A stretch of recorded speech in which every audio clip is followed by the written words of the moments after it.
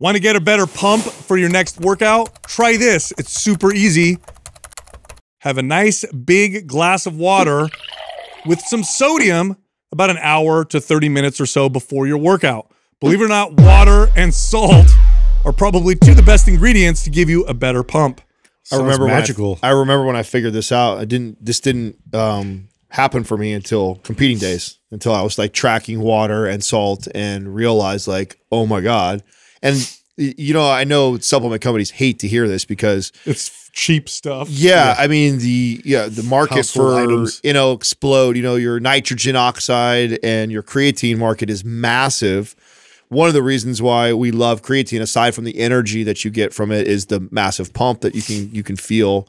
Um, but nothing, in my opinion, compares to water loading and, and sodium loading. And I would, I mean, I would say more than a glass of water. So my kind of formula before getting into my workout at noon or one, that's when I kind of trained was could I get a half a gallon of water down and then like I back then this was before we had a partnership like LMNT. Um, I was doing like two of those big dill pickles or I would just have something that was loaded full of sodium. Like if I ate out at this, this restaurant where I was having all kinds of salt in my food, poof, the pumps were better than any supplement I'd Oh, ever taken. like citrulline, arginine, you know, uh, all the the supplements that boost, um, you know, blood flow, supposed to give you a better pump. None of them come close to being well hydrated and having a decent amount of sodium in your system before your workout. So here's what I so I work out first thing in the morning, um, like around 6 7 o'clock. So I don't even eat, right? So it's not like a carb load or anything like that. I don't have any food. I'll have uh, one of these filled with water. So let me see how many ounces this is. Something like uh, thir- this is 32 ounces. So I'll make sure I drink 32 ounces of water and I have a full LMNT packet in here. And LMNT is about a thousand milligrams of sodium. Then I fill up another one and put another packet, and that's what I drink during, my the workout. Yeah. And if I do that and I compare that to not doing it, if I don't do that, the difference in the pump is so dramatic, it's hilarious. And the reason why it's funny is because that the market for supplements to increase the pump is so big and people spend so much money. Yeah. And it's like salt and water. Yeah. Like salt and water. It's like the the poor man's uh, options. So you have that, and then you also have like whole milk with like a little bit of uh, Ovaltine you know, uh, for a protein. You didn't shake. age yourself. Come on, who do, you guys do Ovaltine? No. Oh, is Ovaltine still around? Does that I even don't know. exist? I don't Can you even buy Ovaltine? I don't know. Nesquik or something? What are we- what are we working with Maybe here? you might. Be I'm pretty to sure you can still get it. Ovaltine was the first. That's whatever. They still they still dominate all the rest homes. I'm sure they have like some, some contract. It's made- you know what some it's made- contract they signed for like 50 years with all the rest homes. Mind Pump sponsored by Ovaltine. Yeah, they sell it. they do. Yeah, It's, get it it's on malt. Amazon. It's malt, right? Yeah, What is it's it? malt. Yeah, Chocolate it's like malt. chocolate malt. Chocolate malt. What is malt? It's from barley, I believe, or it's from wheat or barley. It's some type of uh, I don't know. Bro, exactly what it literally, you just said told people to drink dairy with gluten. Ba- basically. I mean, isn't that isn't that what like crappy? Uh, Terrible gut right there. Well, you know what's crazy It's about your gut bomb. advice, Sal, that you gave, because I'd take it even one step further. You're going fasted, which is amazing that you still get this massive pump even without really any glycogen, right? Like, I mean, you're. I mean, I have the dinner from the night before. Yeah, but I mean that's minimal in comparison to like you actually loading. I bet if you actually did everything you're doing and you had like 70 grams of carbs real quick before, you Yes, know, I would. uh, you would feel a Yeah, crazy. in, in the rare moments when I can work out later in the day, which is what I, I love, it just doesn't happen because it's just it's it's impossible with kids and work and all that stuff. But if I can, then yeah, if I have like a meal or two, you know, hours before, plus I make sure I'm well hydrated, plus I have good sodium, then yeah, then the pump is Yeah, you- you you your pre-workout, just black coffee. Boom. yeah, there- a, a fun experiment for the I got the, more tips. the young people that are probably listening to this that would would uh, do this right is to to go and carb deplete for a few days um, and then do your advice with the sodium and the water and then load the carbs before you get into the workout so let's say i go like three days of low carbohydrate i'm going to work out the next day at noon that that night I'm probably having a big a big meal with lots of carbohydrates in the morning have another one and then a mid morning before my lunch like an hour before my workout an hour hour and a half before another large carb meal with all that Yeah. water and sodium and oh, you'll have one of the craziest pumps you've ever had. now the pump itself uh, is does seem to signal muscle growth. Part of the part of it is getting a good pump means that there's uh, the environment that you're in, right? The environment your body's in is probably conducive to muscle growth. Okay, so if you can't get a good pump, you either don't have enough, uh, you know, food in you, you don't have enough water. Obviously, electrolytes are off. That's not a great environment for uh, for muscle growth. So the pump itself tells you, oh, this is a good environment for muscle growth. But the pump itself also signals the body to build muscle through uh, cell swelling, which signals muscle growth. And they've shown this to be a thing. Bodybuilders have known this for a long time. So, you know, it's not going to outweigh a good workout or anything like that. But let's say you're doing everything right. And then you say, okay, what else can I do to maximize my gains? Um, hydrate yourself, have some sodium. LMNT is great because it tastes good and it's easy to put in your water. Plus, it's got a little bit of magnesium and potassium, which balances out the sodium.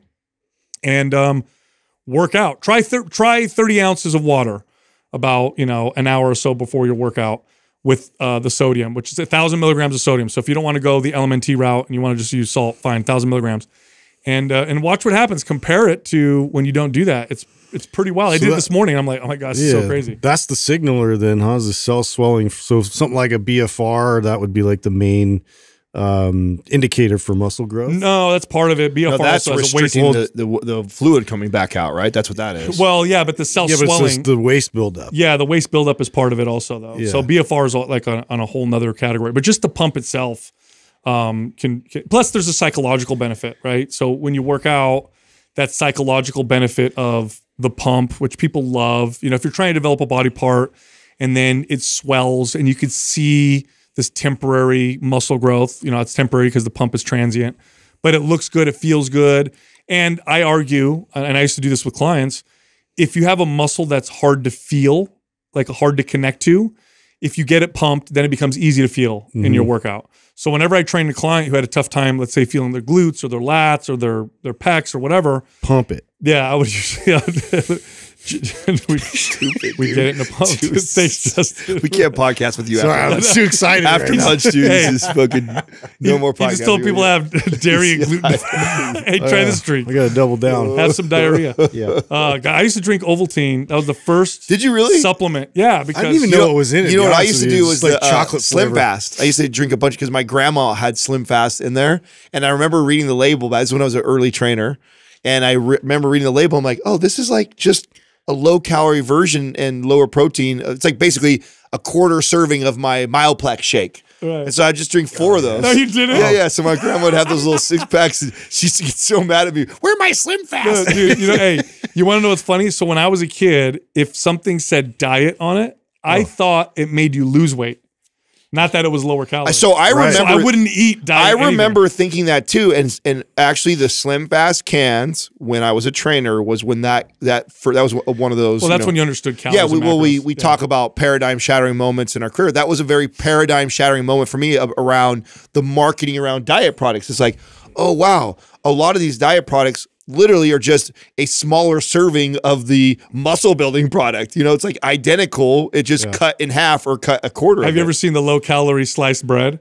It's like hella thin sliced. Yeah, yeah, yeah. It's 100 calories. Yeah. super thin.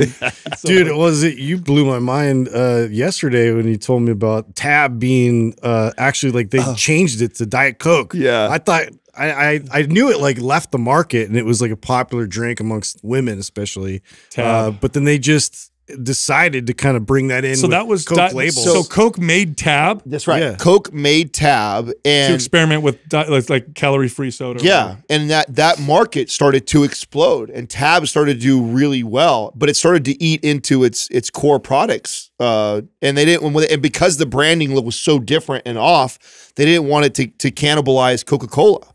And so that's when they invented Diet Coke so that they could still keep the branding of Coca-Cola, It was probably one of the most brilliant almost rival it these days, right? one of the I most mean, it's brilliant brilliant moves ever. I know you were a big Tab drinker, yeah. I was. Yeah. No, Were you I- I really? didn't mom was. I, I did drink it though.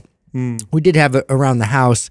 You know, interestingly, they sweetened tab with saccharin. Oh, that's before saccharin. And was, so saccharin got associated with cancer. And that's another reason they discontinued tab was because of the association with Uh, saccharin. I feel like and that might have been a bigger, maybe a bigger, bigger reason. uh, the bigger cancer, reason. yeah. the cancer connection. Shit, you, I, I disagree with that. That's never stopped anybody, dude.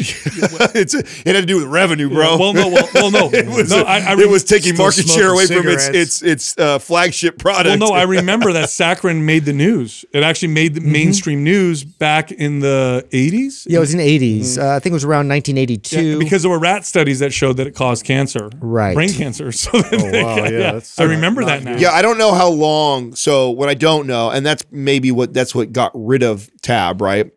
Because I think they both coexisted for a while. I think what Coca Cola did was, I believe, right? I don't. I have to do. I didn't, you know, do enough research to speak completely on this, but I'm pretty sure what happened was they they made Diet Coke to try and bring some of that market share it back, back to the over, yeah. branding, but simultaneously we're probably still running Tab. I doubt they would just shut it down while I was making all that money, right? yeah, so I'll have to research this more. Um, I don't know if there was an overlap there or not. I'm pretty sure there was. I mean, it would be kind. It would be pretty. I pretty. drink tab and I lost 60 pounds. Yeah. You had cancer. Now, the other thing, the other reason Oh. why they they actually wanted to rebrand was because at that time, Tab was like solely marketed to women, and they actually and so when they did Diet Coke, they co-branded it as like a you know, what is tell me. It was just discontinued in 2020. Tab. Yes. I- you know so much, so much for your bullshit idea. But I, I told you the cancer Well, didn't no, no, stop. no. It, it took the saccharin out. oh, they just took that. Yeah. Yeah, I mean that didn't stop the product They, though. they replaced it with uh, aspartame. Aspartame, I'm Yeah. sure. Yeah. Wow. You know what? When you were talking about tab, I'm like, I could, I could have swore I saw it uh, at the store. Wow, twenty. That's probably why it made this article, right? So it only it came across my, one of my things I read daily or whatever, and I was like, oh, that's an interesting story. Do you know back then in the Hmm. 80s, it um, it was considered unmanly for men to consume anything diet. So that's why things like Tab were marketed to women. Any diet I mean, I still feel that. yeah, way. if a guy ate if a guy ate anything that was diet, like he'd be made fun of. So no diet products touched men Yeah. at all until Yeah, you know, that totally shifted completely. Uh-huh. What's up, everybody? Today's giveaway is MAPS Strong. This is a strongman inspired workout program. Here's how you can potentially get it for free. Leave a comment below this video the first 24 hours that we drop this episode. Also, subscribe to this channel and turn on notifications. If you win, we'll let you know in the comment section. Also, we got a sale going on right now. You get MAPS 15 minutes, MAPS Anywhere, MAPS Prime, and our ebook, Eat for Performance, all together in a bundle priced for $99.99. That's a savings of over $200. Again, it's a huge promotion. If you're interested, this is a limited time, so act now. Uh, click on the link at the top of the description below. All right, here comes the show. Much you know, later. another interesting story. You guys have any guesses on how well like the Jordan brand does with Nike? Do you have any idea? You Like mean what- today? Yeah, like and what it's done. Like, is it? Do you think it's more or less popular I when Jordan played popular. now? Like, or do you think it's still growing? Do you think in this recession? Like, what are your thoughts on how the, the business well, does? I mean, again, this is my limited knowledge, but it uh in terms of kids and like their excitement around Jordan brand, like it's very prevalent. Like like my son, like I know your daughter, Yeah. like it's it's still like the cool shoe. Like Yeah. in It's gotta be comparison to anything than- else. There's just really nothing that, that's even close. Is Yeah. it bigger now than it was before? Yeah, so it's consistently grown. They just eclipsed five billion dollars in revenue last year. Wow. What that means to Michael Jordan? Okay, so he made he made over 150 million dollars from them just last year from the Jordan brand alone. So One that's year? yeah, one year, 150 million. Do you know what he made in his entire career playing basketball? Well, probably way less than that. 50 90 million. Oh wow. Wow. 90 million he made his entire career of playing in basketball. That's his total collections in in, in uh, his his, his uh, income, right? Dwarfs it. Wow. And last year alone, after what is that, 30 years ago, we played 20 something, 30 years ago, then since the last time he touched the court, That's crazy. ma- making off of his shoes $150 million. Isn't that wild? Hey, s- speaking of money, I got I got a great uh, article for you, Adam. I know you'll like this. hear well, this will be interesting for us to look at. So, do you guys want to guess what the worst college degrees are in terms of Art. Environmental Hold on. horticulture. Horticulture would be good still right now, but yeah. So these are the not worst- environmental horticulture, Okay. but horticulture in general. gender studies. So this was- pivot to the marijuana business. So the New York Federal Reserve released a labor market report on college majors, um, and uh, these are majors that are just terrible in terms of their value on the market. So you get one of these degrees. So are we going to get a list of them, or do we have, I have a list of them. Okay, okay. But I want to hear what you guys. Well, here I'll read them off. You guys let me know what you think. Yeah, because I know there's going to be some really rare ones that we probably like. No wonder that's bad. Right? Well, some of them are really popular, and you know this is important, by the way, to know. And this is a conversation I have with my older kids. Uh, as I say, look, you can learn and study whatever you want, but I'm not going to pay for Right. a degree that They're has. not all going to make you money. yeah, I'm not going to pay for a degree like that has terrible. anthropology or something like that. Yeah, that. it's just got terrible market value, and you're not going to get a loan for something with terrible market value. If you want to learn about that, luckily we're in the internet age. You can learn about whatever you want for almost free. If you're going to pay, you got to make sure that there's some market viability. It only makes sense. Doesn't make any sense to get loans for hundred thousand. well, I, I think that's a, a pretty uh, um, logical way to Very. approach it. It's investing, right? Yeah. Just like you would invest in a stock or real estate. Like, do your homework on like the likelihood of this is going to be a good investment. especially five, when you can learn shit for free anyway, right? Right, okay, right. so here's some of the worst ones. Number six, performing arts. Yeah, so I knew. arts So would be up there. medium wage uh, in the early career is under forty thousand dollars. The unemployment rate is seven point six percent. The underemployment rate, so this is like people who do it just part time, they can't get full time work, sixty four percent. Oh, those are cool stats that they got. Yeah. Okay. Number five, leisure and hospitality. Oh, interesting. The median wage is thirty-eight thousand dollars. Unemployment five point three percent. Underemployment fifty-eight point six. You know what though? Think about it. Leisure and hospitality. So you're working in hotels and stuff like that, right? They, I don't know. You, uh, hotels, airports, you like get a degree for that? Well, yeah, that's what I mean. That's kind of like, did you- most people Well, just you- jump in and to then, hop into management.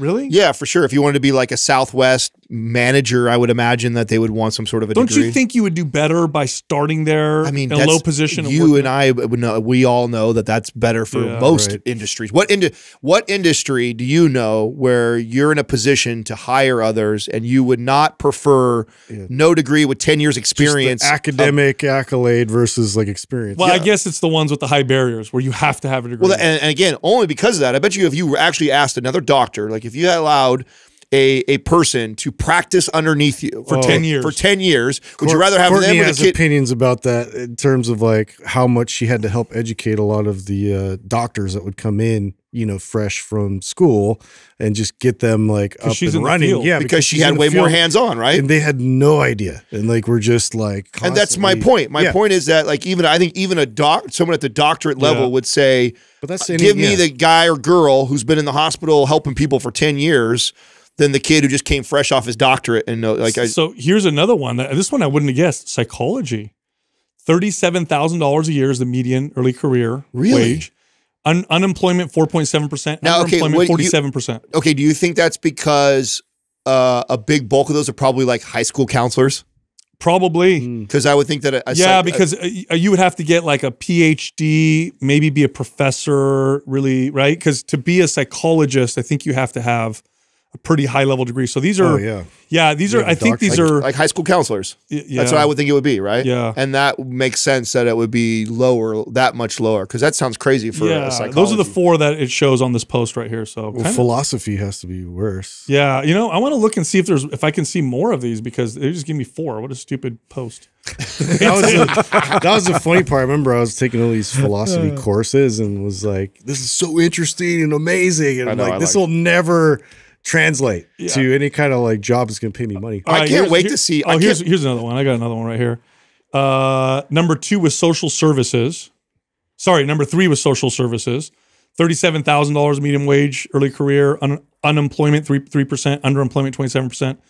Number two, family and consumer sciences, thirty-seven thousand dollars a year. Now that's interesting because I would think that would apply in marketing really well, and that would. So that's a computer community service uh, officer, um, nutritionist. Um, oh, number one. Well, I mean, this makes sense. Theology and religion. Well, yeah. I guess you're not going to make unless you start your own mega Yes, start your own church. you- Yeah.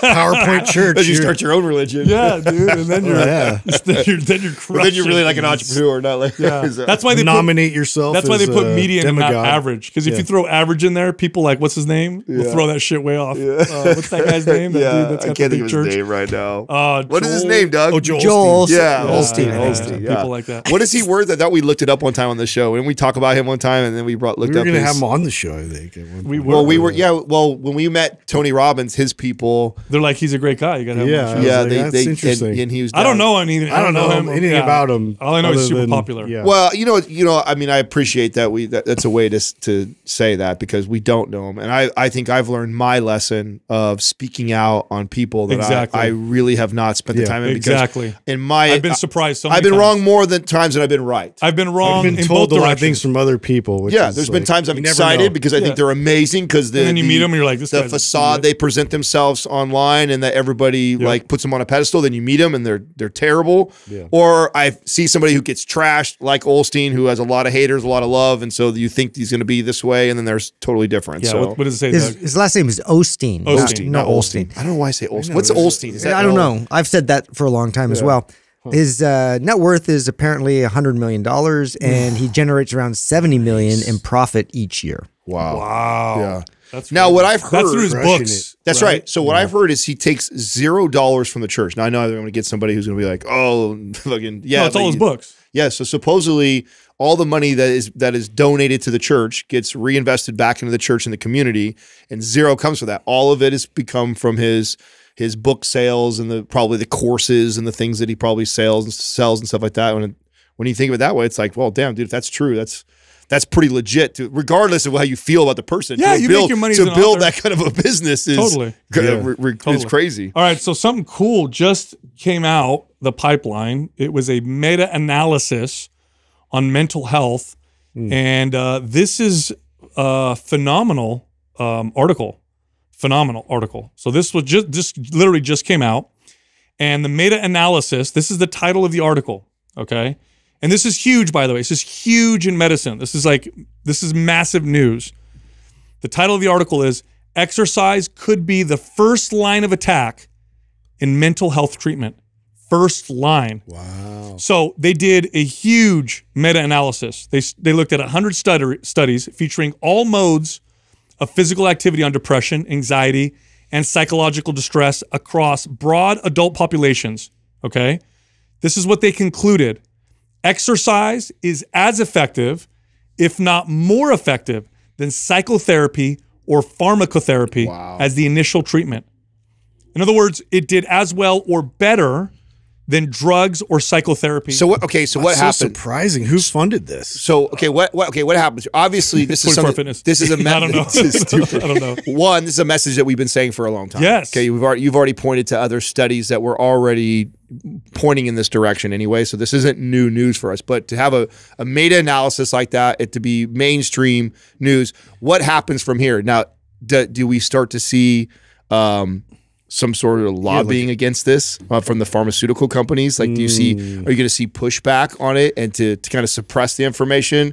What do you think happens if, because if that's true, If I'm a big gym chain, I'm using that as my marketing uh, campaign. Like, Oh, I see how Yeah. this is obviously this is great for fitness, great for gyms, great for that side. But I think of the other side, the psychology and the pharma side, Sure. which is big money and big business. or do they adopt it and, and kind of incorporate that would be it? the most brilliant. Yeah. Right. So so well so there's an interesting thing. So their their their speculations have to do with you know neurochemical serotonin, or norepinephrine. Um, you know, I would argue that's part of it, but it's also part of the fact that you are doing something, you're working hard towards something, seeing yourself progress. That by itself also feels really good. But what's interesting is they found that resistance training had the largest impact on people with depression, and yoga um, had a better had good performance with anxiety, which makes sense. Yoga, very peace related. You know, you got a kind of mind body focus. Strength training, great for depression. But here's what I think about you know. Here's my opinion on what you're saying, Adam. There's a big hurdle here, and so I don't think the pharmaceutical industry is going to care too much about this because here's the hurdle. It's always easier to tell someone to take a pill. right. Pill versus work. That's the problem, dude. The problem is So you think that they're to- not even going to have to do anything about it? They don't give a They, shit. they, they're like, eh, that, that still requires It's not going to touch them. Nobody cares, anyways. It's not going to touch them because, okay, um, uh, people have known that exercise makes you look better forever. That's a strong ass motivator. Yet people still don't do it or do it consistently. So I don't know. I don't know if it, now what might what this might do is it might get doctors and therapists and psychiatrists and psychologists to work with I don't know fitness organizations, trainers, who knows, to work with them to help administer exercise or maybe use it as a prescriptive like hey here's what i want you to do just like they could prescribe meditation and mindfulness but is it going to touch the pharma industry You know what this reminds me of? We, you know, today we have a commercial for NCI, and the girl's name is slipping my mind right now. So I feel bad that I, not to shout her out, but I, I, rem- she was part of the VIP group that we were last time. Crystal, I think. No, it's not, Not Crystal. Crystal. no, it's Um, not Crystal. It's someone else who had the business that actually she was a therapist first. So she was a, a- Oh, a, I- therapist first, and then she's combined crap i know you're talking about her therapy. She's in the group, the NCI. Yes, Yeah, yeah. yes. And I remember talking to her, going like, "Man, what like a cool."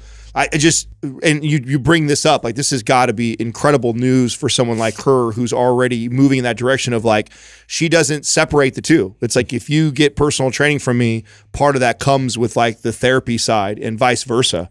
So I always thought that was such a, a, a oh, brilliant strategy. If you ask me now what training a coach or trainer could go through that would benefit them more than anything in terms of like applying, you know, fitness and helping someone, besides learning how to communicate effectively, would be learning uh, like therapy skills, Yeah. skills of communication with uh, by helping people through, you know, like what therapists go through.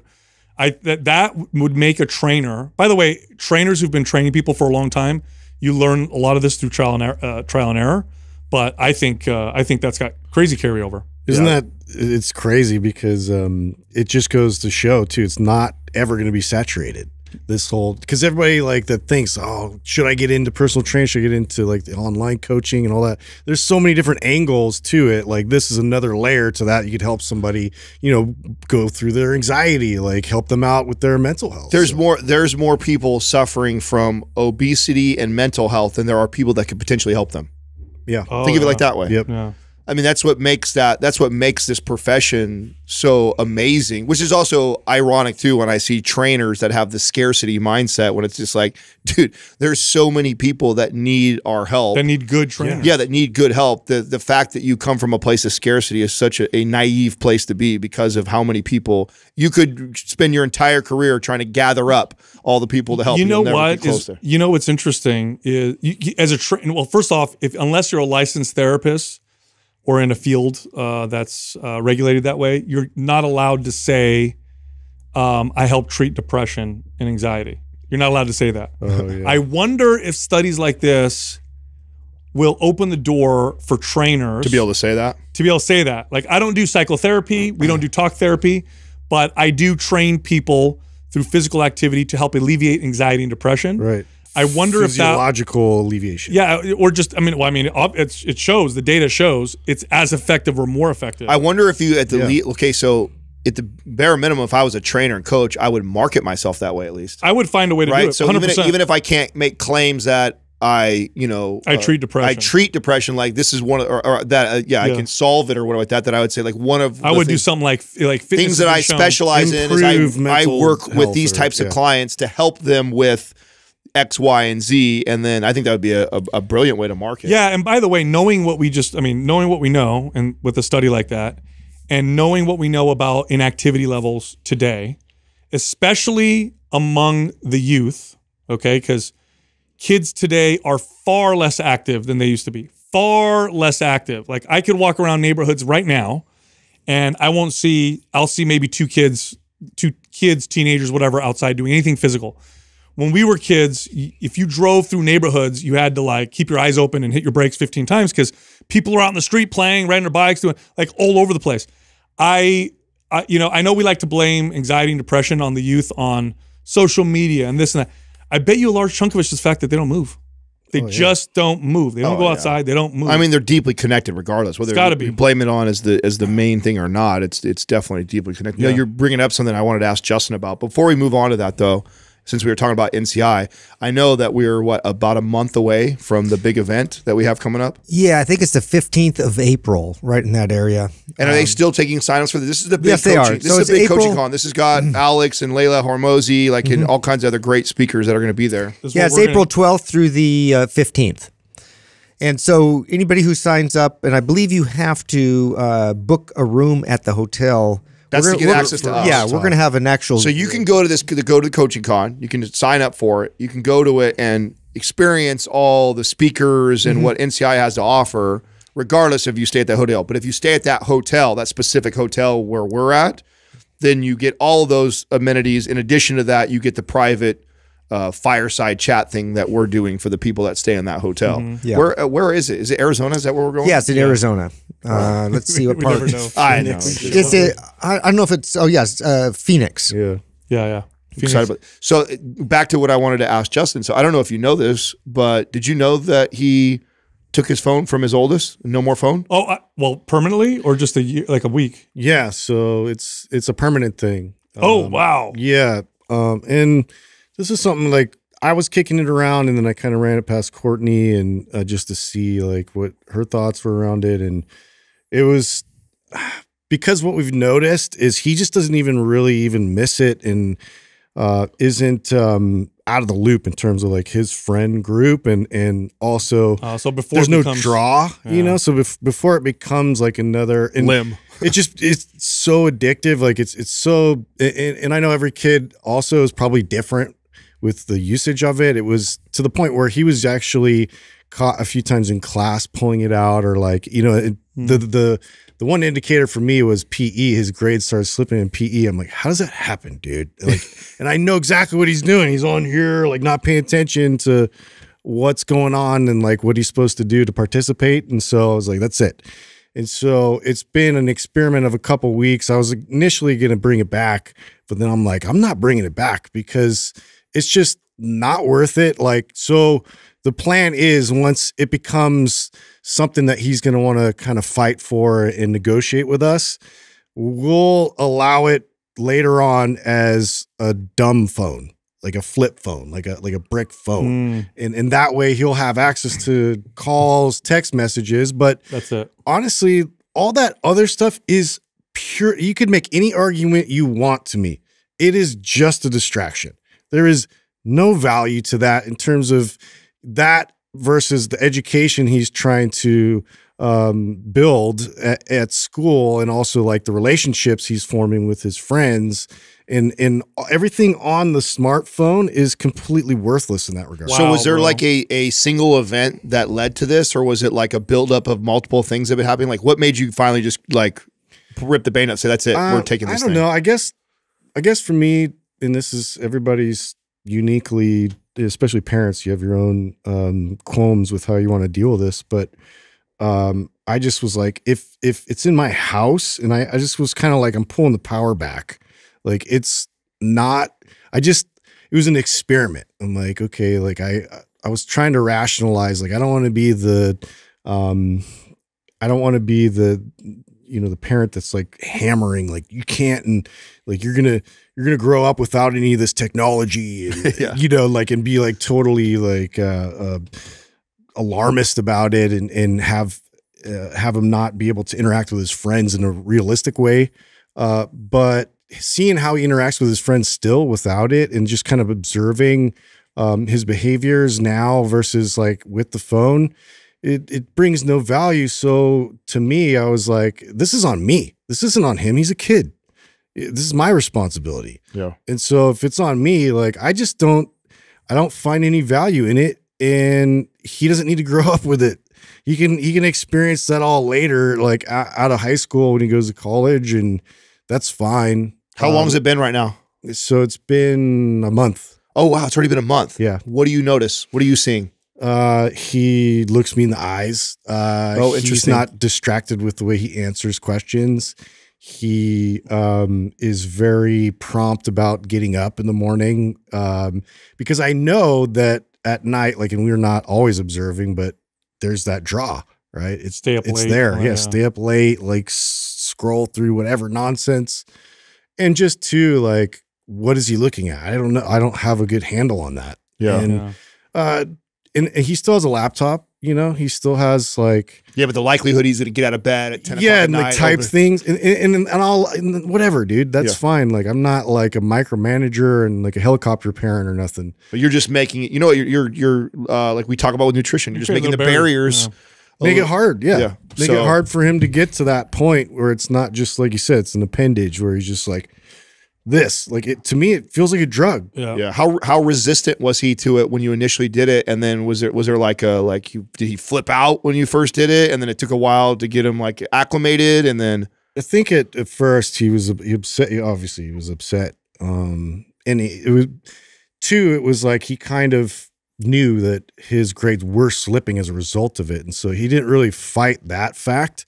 He just thought he was going to get it back. You know, Mm. like he was like, "Oh, okay, they're they're going to let this blow over and do the same old thing," you know, and like I'm going to get it back. And it's kind of like that whole, uh, you know, how long can can I outlast them? yeah. kind of a thing and um and I just didn't bring it back and then and he was kind of like he mentioned it the other day and I was like oh yeah do you miss it you know and he's just like honestly not really Oh, cool. and I was like and then at and to your point this is that was actually the definitive decision for me where I was like if he's telling me that it's gone yeah. so And then, so, and then how is he? I mean, because I, I think it's some of the challenges, right? Like uh, if I was a kid, it would, you know, how am I getting a hold of my friends to go play or like get ready? You know, weekends around, we're gonna all Mhm. get together and do something. How is he communicating now? Is he doing it through a video game? Yeah. Through He can just do it through uh, PlayStation. So he'll because it's so much easier to manage that because he's out again in in the living room and and he'll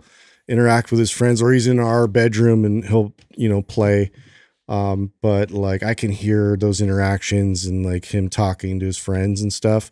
And uh and two, it's it's like easier for me to be like, okay, it's an hour or it's like a half an hour that you have here. And then it's not like the most painful ripping a band-aid thing off to get them off like Yeah. it is to to take the phone. Yeah, and you did and you did it good timing too, because you, you wait till they're Oh, it's sixteen. too late. Yeah, seventeen. It's like Yeah. yeah, they already built, a they already built a social media following and or shit they like built that. just Like, their, good their luck. social networks with kids that are on there all the time, and so Yeah. yeah, that's that's kudos kudos to you. Well, we'll see. We'll see, dude. I mean, again, this is like Sure, such a social just started, experiment, right. but that's sort of the plan. I mean, right you could always bring it back. There's nothing Yeah. wrong with him doing this for a year or two, and then you know, you, you know, he's older, and but- I, I actually think it's so funny. You, th- that's why I wanted to bring this up. So I would I'd send a message to Doug, and I, I think Doug was the only one communicating with me. I was high the other night, and I was like, I have these high ideas sometimes, right? And I have this idea. I'm like, spaghetti cereal, no, yeah. So you know, it's but hot dog flavored protein powder. So here's where what, where where my my brain was at was you know I I, I obviously we're a, you know adults right? So we're much more self aware than a young young you know adolescent right and I'm always looking for ways to improve my behaviors around this tech. I mean that's how powerful it is. It's powerful enough that I'm aware of it and I still need to think of ways. How do I create these barriers so I'm a more present Oh, father? It pulls us, dude. Yeah, yeah. I'm a more present father. I'm a more present husband. And what are some things I could do? And I, I had this like idea, like, you know what? Like maybe I'm gonna bring back the pager. And so if it's business related, like it's emergency, someone needs to get a hold of me, they can page me, right? And Yeah. I, I can get to my phone.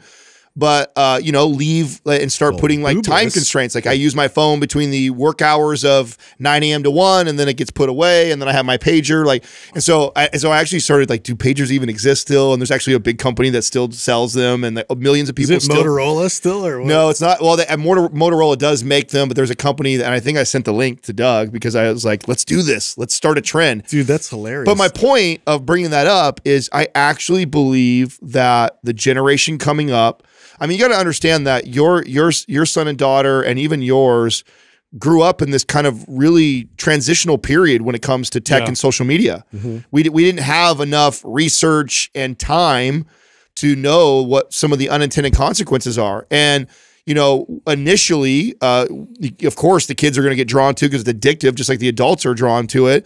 But over time, because we are a pretty smart species, and we look back and go like, "Wow, look at all these things that are connected to all the addictive properties of this." I actually think that the next generation up is going to make it a cool thing, and I think you already see that yeah, like with social media. Like you now notice like real popular kids don't post all the time. It's like cool to not post. It's like you're you- more interesting if they can't find you. that's right Yeah. so it's becoming a it is becoming popular in the generation coming up again so i do think that you nailing this right now is a good time. And I actually think it's not going to be that challenging because I think right when you're already putting a stop to it, when he gets into high school, it's going to be less cool to be addicted Yeah, to your phone. be. Most I- kids are going hope to, I bet you kids will start to Yeah. call it out. It might I really be. hope so. it- you know, and the the hard part. So so Jessica and I are starting this where we're going to have a station where we put our phones at at uh, at the house. So if you want to go on your phone, Yeah. you can go on your phone, but it's at there. it's at the station, and we're going to do that even with ourselves. Perfect.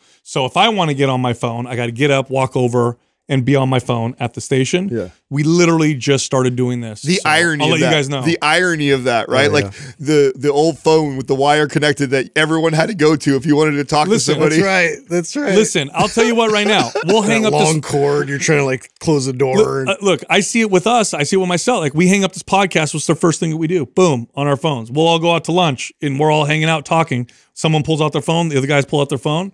Next thing you know, we're all on our phone doing our thing. And it's not like we don't. We're being rude or we're. It's not. It's not a conscious thing, No. which is what makes it even more That's dangerous. thing. It's still totally subconscious. Totally subconscious. So how do you deal with shit that that's that is that powerful? Well, the way you deal with it is you have to develop structure around it. That's the only way. Yeah, Because and- and I can't. You're not. It's not going to happen by you saying, "Oh, I'll just use it less."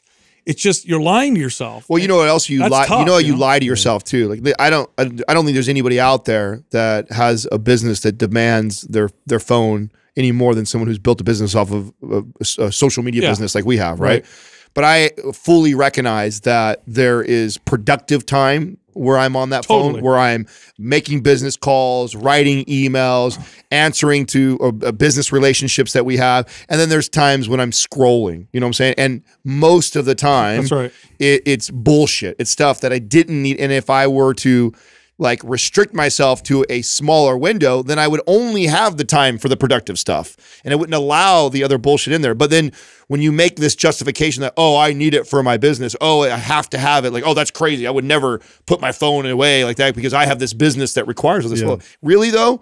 Like, I, I bet if I actually put these window and this restriction, like, then anything that hit me a- after that window would be there for me at first thing in the morning, and then I'd only have a few hours Well, to knock it out and i- I'd get the shit done. Plus, Yeah, you have to train everybody else around you that that's Yes. like your barriers, right? So this is the the window that you have access, and it's like unless you have that sort of trained, it's like people will just expect that you respond immediately. Yeah, well, the idea because I'm I, I can be quite resistant to feeling like I'm being controlled by anybody, including myself. I don't like.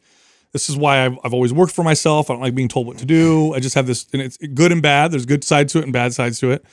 But the the the reality is, me putting my phone in a centralized location at my house is not because I'm being tyrannized or controlling myself or, or you know whatever or my kids. I have to do it for my kids, but now I feel like I'm being controlled.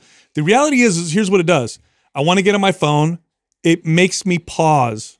It just brings awareness. If it's in my hand already, there's not enough time for awareness for me to be like, "Ah, I'm like wasting time. Yeah, it's on that it." barrier again. But if I have to stand up and walk over to it, and it's right over there, it's not like I put it like like you know super far away. It's like literally right there in the middle of where we all hang out.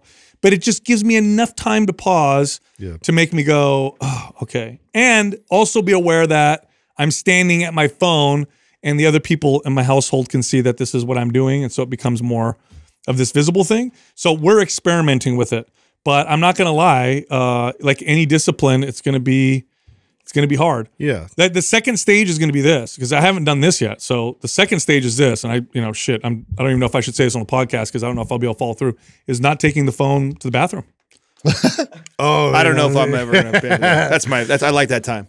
Yeah. Yeah. Yeah, I know. So I knew you guys would say that. Yeah. Everybody says that, bro. I say, hey, let there's a lot of other areas I could cut fat out of my diet before I cut it out right there. You know what I'm saying? I don't know. I don't want to go. Hey. I'm not. Yeah, I'm not ready time. to go back to reading the back of a shampoo bottles and shit like that. I'm not ready for that. You know, Country living, like we got no. We got no magazines in there. So I know. I'm not with you on that one, bro. Not yet. I'm not. I said that's the next gotta bust out the National that's- that's Geographic. I'm gonna listen. Just like we coach people with with exercise, you start one step at a time, master the that's first next step. level right there. Yeah. That's- You know, I, I think that's We'll one of the best that. places for it. That's the best place for it. I think is. I know, I know, you guys are all keep shut up. in the Sal. My, well, my friends used to we used to joke. This was back when I was even at 24 Hour Fitness. That because I was I, I was actually really good about putting when, when we were at work at 24. All my trainers put their their phones in the drawer, and we actually used to we trained everybody to do that. Yeah. That's just you don't have a phone on the floor when you have clients. Right. Neither did I. I keep it in there.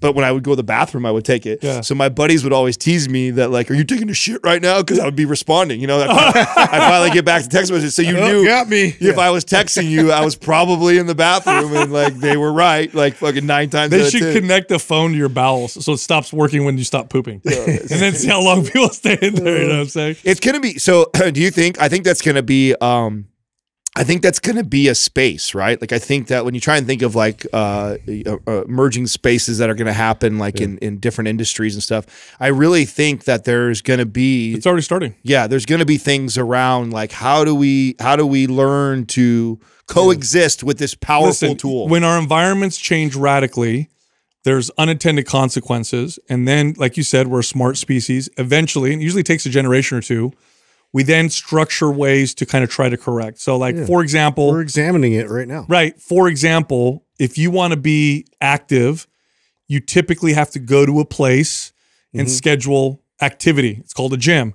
You know, uh, 500 years ago, that would be the most crazy thing you could ever explain to somebody. You'd be like, listen, this is what you're going to do. You're going to go to a place, you're going to lift heavy chop things. wood, you know, yeah, you have to like kill something and you gotta like no worse, you're gonna burn pretend. things to be You're able to cook it. You're it's gonna, like you're gonna pretend to chop wood. You're gonna pretend to lift heavy. well now you pretend. Yeah, they're gonna be like, wait a minute, you Yeah. lift things and put them down, You lift things and put them down, and you don't build anything with Yeah. that? Like, no, no, no. Well, why are you doing it? Well, it's and good you for the pay somebody to go in there and do that. and then oh, and then you pay someone to tell you how It's to do almost it. right? embarrassing when you look at it. It's it, i mean it, you know it's just it's just this is the environment and the the i guess the the the, the success the, the rules to success or the keys to success in modern societies is is structure and discipline Well, and the truth is, we have to get to uh, the unfortunate part for the generation right now, and what we're going through is the the the, part- the dumb part of our species is we have to go to the extreme before we wake the fuck up.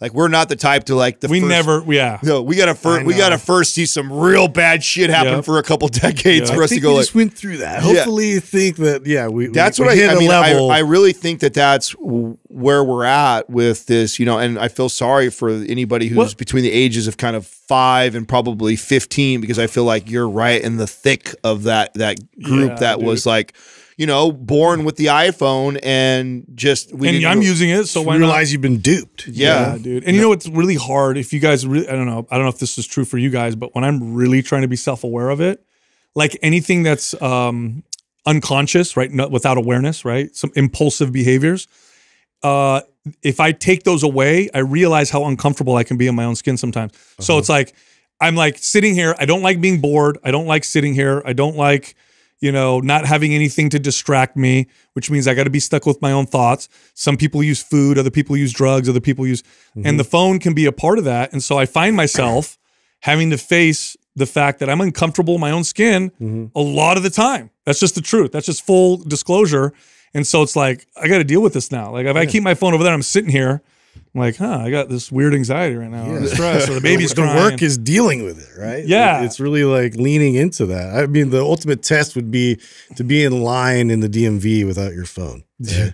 oh, Be- Well, the that would be ultimate, te- you know, yeah, talking about like it being like an industry that's going to i think explode over the next decade as like all these things start popping up you know one to that point is um aaron rodgers just got back from it uh retreat up in oregon called um It was a dark. Uh, yeah it was it was a dark retreat and i think he i think he was in there for three to five days in complete darkness Hmm. no phones no tech no nothing by yourself but you got No lights and- talking. but hold on, you got right? lights and shit dark like i think it was i think that's why it's it, called was it a silent retreat Yes. you can't talk No, either? he's not. He's not social. He's not with anybody. He's by himself too. Oh yeah, so Jessica did something like that. Yeah, It look was a look at, look up what it is, Doug. Like so, I get my facts straight on where. Now, I don't know if Yeah, I that's could gotta do. be I don't know if I could do that. That I have to be around people. That would be torture. I can't de- deal with myself. Well, yeah, long? I will imagine that's would be the, Ah, the extreme the extreme training for that, right? If you Yeah. already have a hard time putting your phone down and being in your own thoughts by yourself in a I'd moment be like afraid that, I'd cry or something weird. So it's I mean? four days, four days. pitch black room. Wait, wait, wait. No phone, no television, See? no lights, Pitch no black? distractions. Wait a minute. You sit in a pitch black room twenty four seven. Yes. Yes. So you don't see sunlight either. Sounds like solitary No. no, confinement. no, no, no, no. That sounds like not a good idea. That's torturous. I- Your circadian rhythm and everything. You, don't but even know what's going on. Yeah, but here's Sal. Look, don't get all alarmist. Four days, bro. Like we, Yeah, even the most long. extreme stuff for in it, it by itself. Yes, to do that uh, extended Have you seen time. the studies on stuff like that? They've done studies on that to see how people's circadian rhythms become and whatever. And uh, uh, I mean, you have to be. Bro, you cannot. You're not going to convince me that a, a four day bender on Molly in Vegas is any worse Wow. than, than going. Why would you pick that? Because because how many So millions of end of people do that spectrum every here. weekend? every weekend, there's at least a million people flying back from Vegas who just Molly. went on a bender for four days with lots of lights, lots of social activity. Lots Speaking of, of that, did you guys know there's a bunch of white powder like like just falling down from the sky in like Virginia and like Maryland? Speaking of Molly and white powder. what, what a transition! Speaking of powder, Is that I saw this. Okay, so and they, And they were don't know telling what it people is. to They're stay like inside? stay inside and like we don't know what this is. Did they ever And- figure it out? No, they're still speculating on what it, it might be like dust storms. They said potentially from like Texas or it might, but some people were thinking it might have been from the um, Ohio thing? Yeah, the Ohio uh, Pal- East Palestine Oh uh, my crash. god! It's so it's like a mystery. They don't know if this is like super toxic chemicals, just like you know, uh, fall, falling down from the sky into their uh, house and their cars and everything. How so freaky. weird. Yeah. And you And just- looking it up, Doug? I Yeah. saw an article on this too. Oh, you did? Yeah, I did. I didn't see anything on this. That's weird. so they haven't uh, decided. They haven't figured out what the hell it is. No, no, It's not So- cocaine or Molly, though, right? No, No, it's not the fun. powder. Imagine that. hey, Molly's falling out of the sky. People Wow. be Imagine how happy everybody would be, though. Oh, exactly. Yeah. Until they died. Depression gone. Dude, you guys want to hear something crazy? Crazy? Did you guys hear about this? Uh, this top international model uh, from Korea. Did you hear what happened to her? Have you heard this whole story? No, I'm waiting for the punchline. There's though. not. A, there's not a punchline. Okay, let me hear. So, top international model and social media influencer Abby Choi. Okay, her head was found in a soup pot Monday. What? boiling in soup. They've arrested her ex-husband and three of his relatives in connection with the crime. Apparently, this and the body was dismembered and its parts made into soup after a family feud over a luxury property. This is a real thing that happened. What? Yes. This is a like this 28 year old model. Apparently, she's really well known, and uh, and that's what happened. What in the fuck? Did you see the guy from Is here, the JV? Look, The that's that's that's soup? them right there, dude. The freaking body was cut apart and the head was in the soup. brother-in-law. What is wrong with He- people? he's the one who did it. They, I don't know, he got arrested over it. They don't. I don't think they convicted. Him. He convicted. looks like a kid. yeah, dude. Her Well, head was in a soup. in a, s- yeah, dude. Bro, that's Ew. crazy. Whoa. Yeah, That's in Hong Kong. Hong Kong. My bad. Is the ex-husband and the in-laws are the alleged? Yeah, there was like a dispute over some property, That's gangster. like a feud. man. Yeah, that's hella gangster. Wow. That's beyond gangster. Yeah. I wonder if that's what it is. Is actually some like mafia Yeah, like type you- shit. That's what that sounds well, like for sure. It's not Yakuza, right? Because that's J- Triads Japanese. in Hong Kong or is used that, to be. is that what's over there? yeah. I mean, is that the same? Is that like That's who Doug used to roll Like- with back in the day. Yeah, yeah, Yakuza was me. Doug's got the full tats. I just right gonna on say, I thought- I those were yeah. his- prison that- tats. have you guys ever seen? Have you ever seen a straight up yakuza tatted up person in in, in real life? Yeah, so if they're wearing a suit, it's like everywhere you can't see, right? The skin exposed, Yeah. but like everywhere else is. So apparently that's Doug. That's supposed to be telltale sign yakuza, right? Oh, absolutely. Okay. I mean, in Japan, I don't know if it's the same way now, but nobody had tattoos except for the yakuza. Okay, so I oh, go ahead. Oh, I was just gonna say, yeah. So they they put it down to their Wrist. their s- wrists so they can wear a long sleeve shirt. Um, And it also goes up to the neckline. Yes. And, it- and then it, there's no tattoo in the middle here. So you can't that see way where the, shirt. the shirt's unbuttoned. yes. so So it's they- like the most gangster flex ever, right? yeah, Like a lot you're- of uh, like these onsen, which are like a you know like hot springs in Japan, they do not allow anyone with tattoos. So if we go to Japan, a few of you guys can't go into those. Oh, Wow, Sorry is to that tell is you. that still a thing? Or if you have I think so. I mean, I think there's some that Oh, do here. allow the uh, the tattoos. yeah. See, so I was at the gym and there was a Japanese businessman, and he was whatever. He he came in and he was changing into his workout gear, and he takes off. He's right next to me. We're changing. He says hi to me. Hey, how you doing? Real nice guy. And he takes off his his his business shirt, or whatever, and he full on had fully tatted, like yakuza style. And I was like, what? Oh wow. "Sir, are you?" Uh, no, I didn't say shit. I was like, "Wow, okay." Yeah, either either he's pretending, Mind but I my doubt it. Who and would get so tatted like that? And he was like in his, he looked like he was in his fifties. So yeah, Where where are like mob, mafia, gangster, like cartel? Where is it most prevalent? Mexico? Would you say that's probably where it's most prevalent still? Like the cartel. yeah, just like Oh, gangsters, just organized just, yeah, crime? organized Well- crime like that. Where do you think it's most prevalent? I know Mexico. Chicago has never left. You know, you thought of it like as the mobsters and the you know Roaring Twenties and all that. Um, but are we are we it counting? just evolved? Are we counting corporations working with government too, or you mean like, like yeah, that's the ultimate gangster. because they're the most powerful gangsters. Pharmaceutical companies, I would say. Uh, Yeah, yeah, but they they operate with the law. I'm thinking of people that are like straight up. They're the ones that make the law. You're right. Yeah, yeah. So it's a little bit. They are a gang gang themselves, and or whatever. But yeah, where would you say it's where it's most prevalent? Yeah, I mean, I the would ones you think Me- think of is Mexico because of all the drug well, cartels. Colombia, That Colombia. the most visible. Yeah, they're- I mean, I mean, Mexico's the first I think of like like Mexico just what two months ago just shooting up airports. Shoo- I mean, and no nobody doing shit about it. Like that's Well, they cleaned it all up in New York, right? Uh, that was the- prevalent there in the, 70s. Like, it, Yeah. it was, it was like crazy. Well, and then I they know cleaned in, it up. in Italy there's different. Mafia refers to the Sicilian mob. Then there's the Cal- uh, the Calabrese uh, mobsters, uh, I think they're called. Then there's the group from Naples. I can't remember what their name. They have different names for them. People always refer to the mafia, mafia, but mafia is Sicilian. But then different parts like Naples and southern Italy, not Sicily, has their own. Maybe you can look up what the the Naples uh, organized crime uh, is called, but they have their own different names. So, so funny story. So my ex-wife's family is from a small town in Calabria, which we used to go visit, right back in the day. Camorra. Uh, Camorra, from they're from Naples, right? Okay, so Did I say it right, so? yeah, Camorra. So the Ndrangheta, this is it's a it's ND, it's a weird name, but I uh we their town got raided by the federal police of Italy, and it's this little tiny town in southern Italy got raided because apparently it was like that's where like the head of the Calabrese mafia was. Oh, wow. Yeah, dude, I used to go visit this town all the time. it's this little beach town that you would never guess.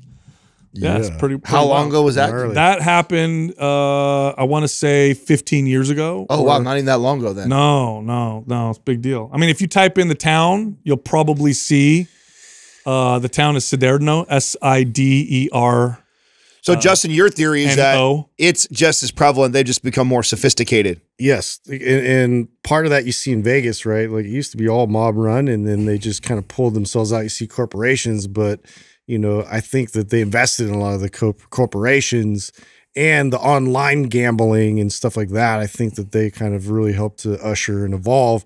And when I was in Chicago, the reason why is because I I knew like guys at car dealerships and uh, strip clubs, and um, yeah, a lot of uh, um, ownership business. was all still mob run. So it was like it, it didn't really leave; it just kind of like took on Evolved. different forms. Yeah, Yeah, no, I mean, I've that that feeds into my conspiracy theory around some of these businesses that I see in the U.S. I mean, I've brought it up on this show before. Like, you see these cra- these crazy businesses. It's just like the, the math doesn't make sense. Like the square footage of that building in the Bay Area. You always think it's. You always think it's. I do. I do. Well, you know, too, because of my experience in the the cannabis industry and how you know I was just in that what uh, 10, 10, 15 years ago yeah. and how much I saw it was corrupt at the city level. Right, the the fact that we were we were paying contributions towards you know officials and stuff like that, and like you know cops coming down and you Just like to get the you- heat off you you, right? donating Yeah. to the whatever cause, you know, and so you know We just get more sophisticated. so yeah, so I, I experienced it, and uh, we were nobody, right? We are a very small level of what I was dealing with, and I thought, God, if this is still happening to someone like me Mm-hmm. who's involved in this right now, I'm nobody. Like, and I can't imagine like how how deep this runs. Mm-hmm. It's got to run much. It just has become way more sophisticated with shell companies and being able to hide behind other people That's and organizations. It's like, dude, that's, what's going on. You found an article on the on the bust over there. Yeah, I did. So yeah, the, the, this areas you referenced Siderno and Calabria. Yeah, pretty wild. Anyway, uh, one more thing. Uh, I found uh, just to just so people understand the level of genetics that professional bodybuilders have. I sent this link, Doug, in the group text if you want to pull it up. It's a video of Lee Priest when he's 16 years old. 16 years old, working out. So just you just look at this 16 year old kid, and you cannot deny that there is a entire different species He's 16 right there. of bodybuilding genetics. That's 16 year old Whoa. Lee Priest. You know, right when there. I see that though, like I, I, I like there's a Dude, part of me his that I feel bad for them that they went down the the rabbit hole. Like, look how amazing he looks right there. yeah, Like if you just kept that physique for the rest of your life, but the the level of addicted to the body dysmorphia that you have Yeah. to to go into that sport forever and to keep getting bigger and Well, bigger you and get bigger. praised for like being a freak, you know, and like going like real crazy with uh, the potential of where you can go. he was getting praised. Like, imagine looking like that when you're 16. What do you think all your friends are telling you? oh yeah. You remember, you know who looks who, what he looks like? Who reminds me of that? You know, we have a friend, Who? the Jason Sinatra. Oh yeah, yeah. Jason and his brother. yeah, an all natural, Yes, mm-hmm. crazy looking, yes. crazy genetics. I mean, that's probably he's probably. I, would sixteen. Do you think he's natural right there? Lee Priest, yeah, he is. Is he? Yeah, Lee Priest is all natural right there. He he tell he's very open about when he started using anabolics. Yeah, I know he. I know he's open about his drug use. Hmm. Yeah. I didn't know if it, what year Oh, yeah. he started, but you look at that physique and you would swear that dude is on. Bro, there's no amount of drugs in the world that I could take that would make me look like him when he was 16. that's how that's how crazy his genetics are. Yeah, he had the best I mean, dude. yeah, it's most of these bodybuilders. Yeah. you find. Oh, shout out, dude! I have a shout out for you guys. Who? This guy's a little bit of a prick, but you Oh, should God. follow him. I already know what you're gonna say. I already know what you're gonna say. Mind I like, pump- like how you're presenting Mind this. Pump Di Stefano Back on Instagram. Back on Instagram. Maybe a moment. So make sure you get in there and talk to him while you can. So we've tried to. It's like Sal Light. We've yeah, it's Sal Light. I like that. We reined him in a little bit. You know, said maybe half the memes that you were doing before. We slowed down a little bit. Let's try and keep you on here for business reasons. I'm gonna tell you all the secrets of the cabals that run the world. Don't. I'm gonna let you guys know what happened. yeah, if you're not That's on his following Twitter. Mind Pump Di Stefano, you can actually find Sal. He is back on Instagram. Hey, check this out. There's a company we work with called Organifi. They make plant-based superfoods and protein powders for health, wellness, longevity, and athletic performance. Go check this company out. Go to Organifi.com. That's O-R-G-A-N-I-F-I.com forward slash mind pump. Use the code mind pump and get 20% off. All right, here comes the rest of the show. Our first caller is Madeline from Washington. Hi, Madeline. How can we help you? Hey guys, this is this is so cool. You guys have been such a staple in my life and your program for so long. I wow, thank you for Awesome. taking my question. Appreciate the support. Um, cool. So I'll um I'll dive right back in. Um, just a little background about myself. I've been lifting for about 16 years and doing your programs for about two. They've been super helpful. Um, but I recently started working on getting my metabolism up to about 27 to 2800 calories. And I thought that was a good place to dive into a cut from. So I dropped down to 21 to 2200 calories. And I noticed over about a week or two, there was a gradual increase in like some irritability and some depression, which is just not really like me. It was kind of out of character. So I was just wondering if you have you have you seen this before in other clients? Have you heard about this? Um, and I will also say that I am feeling a little bit better. I did a refeed for a couple of days, and then when I went back to drop into my calories at 21 to 2200 again, it was right around the same time that I was traveling for work and I got sick. So my movement and lifting were down. I haven't really done much since. So I've been essentially not in a deficit for the last week and I've been feeling a lot better. But I'm planning to dive right back into training next week, hopefully, if I'm feeling better and um, increase my movement again. So I'm just a little worried that I'm going to go back and start feeling a little depressed again. And I was just wondering if maybe I should approach this differently as I dive in, or if you have any insights there. So I'm all ears. Yeah, Maybe good, too good much question. too fast, maybe. Well, there could be a few different Right. reasons. There could be a few different reasons, but um, you you tried this once and you felt that way. You haven't repeated this to see if it happens again.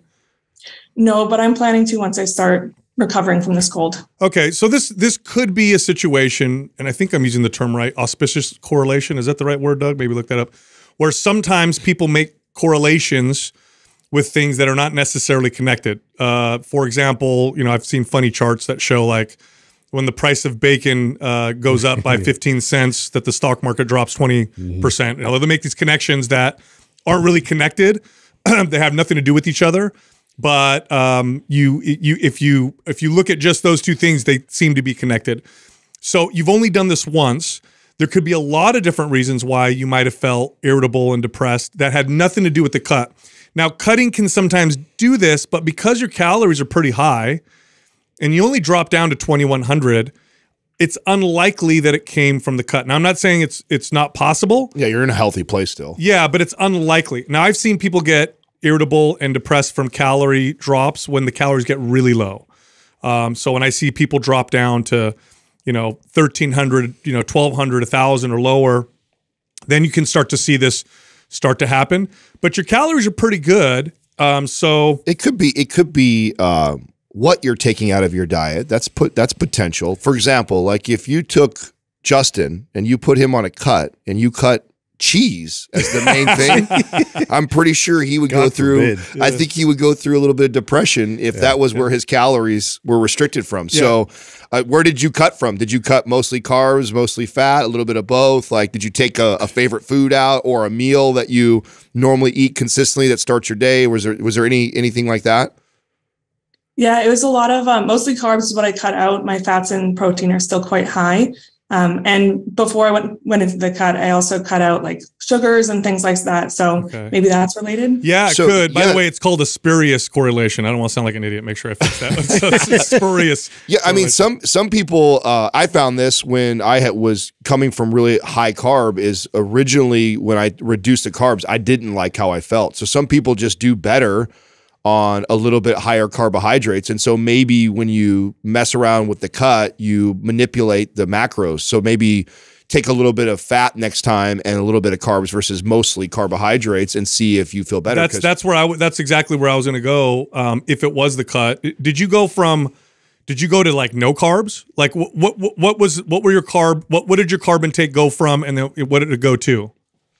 So I right now I'm about just under 200 carbs a day, which feels it feels not bad. Um, but then again, I'm feeling I'm feeling good because I'm not moving a whole ton. Okay. So I'm not sure. I'm not sure where I was at before. I just I cut it out before I started um, diving into the. Okay, so when you did the cut, you went down to about 200 grams of carbs, or did you go down to like 50?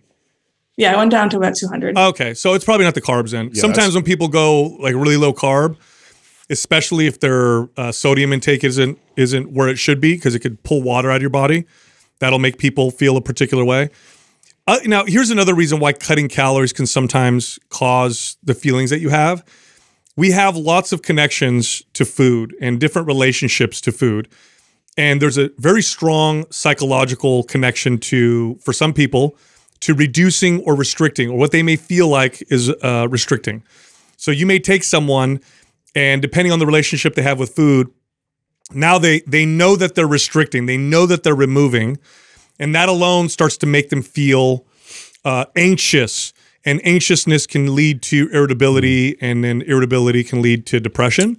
So that could also be the case. I've seen also um, hydration and sodium. Yeah, that's So that's a possibility. So you, I mean, I, I don't know if you have tried using like LMNT, but using like a packet of LMNT and then making sure that you're drinking adequate water and see if that uh, has anything to do with it. I've seen clients before when they've gone on a cut not realize like how much their water intake is kind of low already, and now they've just reduced a bunch of their sodium, and the combination of not being hydrated, not enough sodium in the diet could make them feel like that. So that's also a possibility that you could look into. I mean, Yeah. obviously we're we're kind of guessing at a lot of things. We don't have all the details, but th- those are all possibilities. There's a, there's a host of psychological factors, I'm sure, that, that went into this, especially if you're not feeling good and you got a cold. And, you know, we kind of stack things a lot of times when we're not feeling good. And then um, that sort of plays a, you know, uh, games with us in terms of like how, you know, we perceive what's what we're doing. And so if you're like actively trying to cut and, you know, go in that direction and then you're not feeling well. So we so, sort of associate those two together. So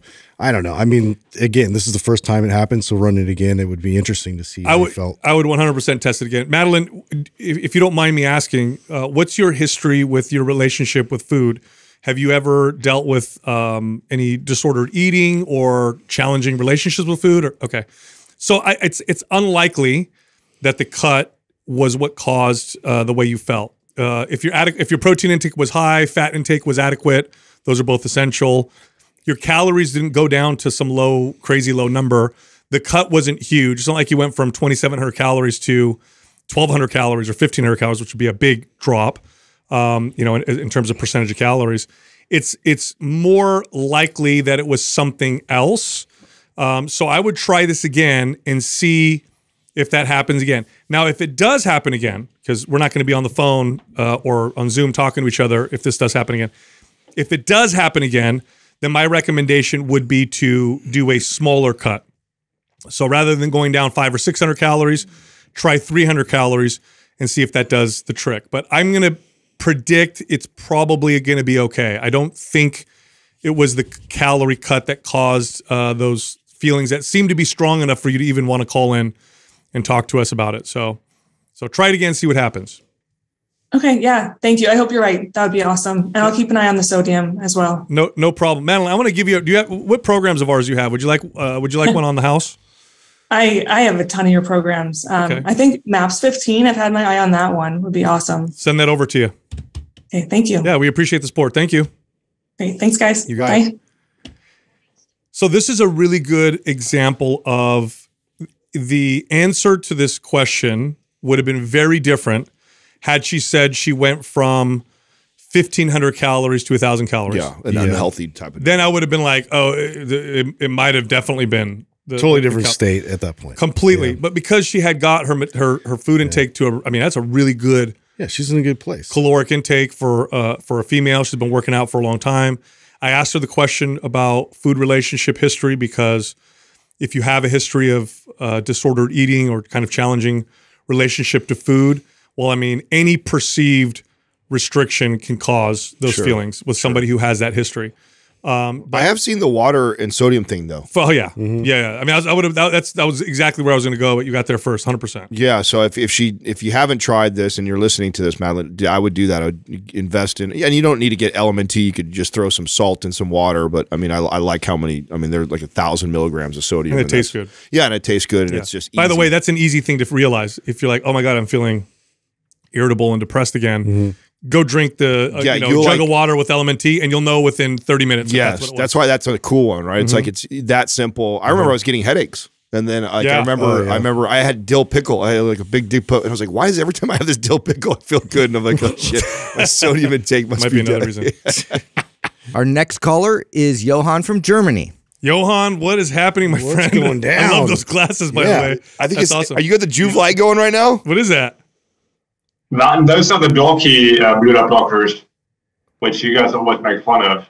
Oh, the blue, Oh. yeah, yeah. Because it's probably Well, don't fall. difference. Hey, don't fall asleep on us right here. Yeah. Okay. All right, go ahead and ask your question, my friend. We'll help you out. Probably try to be quick. Um, so first of all, really want to say, well, thank you, as everyone says, for all the amazing information you put around fitness, Thank you. uh, well, health, fatherhood, life, like everything. And also a massive thank you to everyone on your team that normally is behind the scenes. So not just Doug and Andrew, but also everyone whose names I don't know. And then most importantly, um, I want to thank you for the personal impact you had on me, or for the impact you had on me personally, by um, introducing me to both Jason Phillips and NCI, as well as Stephen Cabral and his IHP program, which I'm both running at the moment, which are amazing and have massively yeah, leveled up my coaching abilities and skills. Hell yeah. But That's rad. Yeah. So first of all, lots of stuff to um, uh, to be grateful for. And now, as far as my question goes, which is around implementing deload weeks in your programs, because despite listening to like every single episode for the last three years and hearing those phrases like, um, do the least amount work to elicit the most amount of change, Adam, or to uh, what's the other one?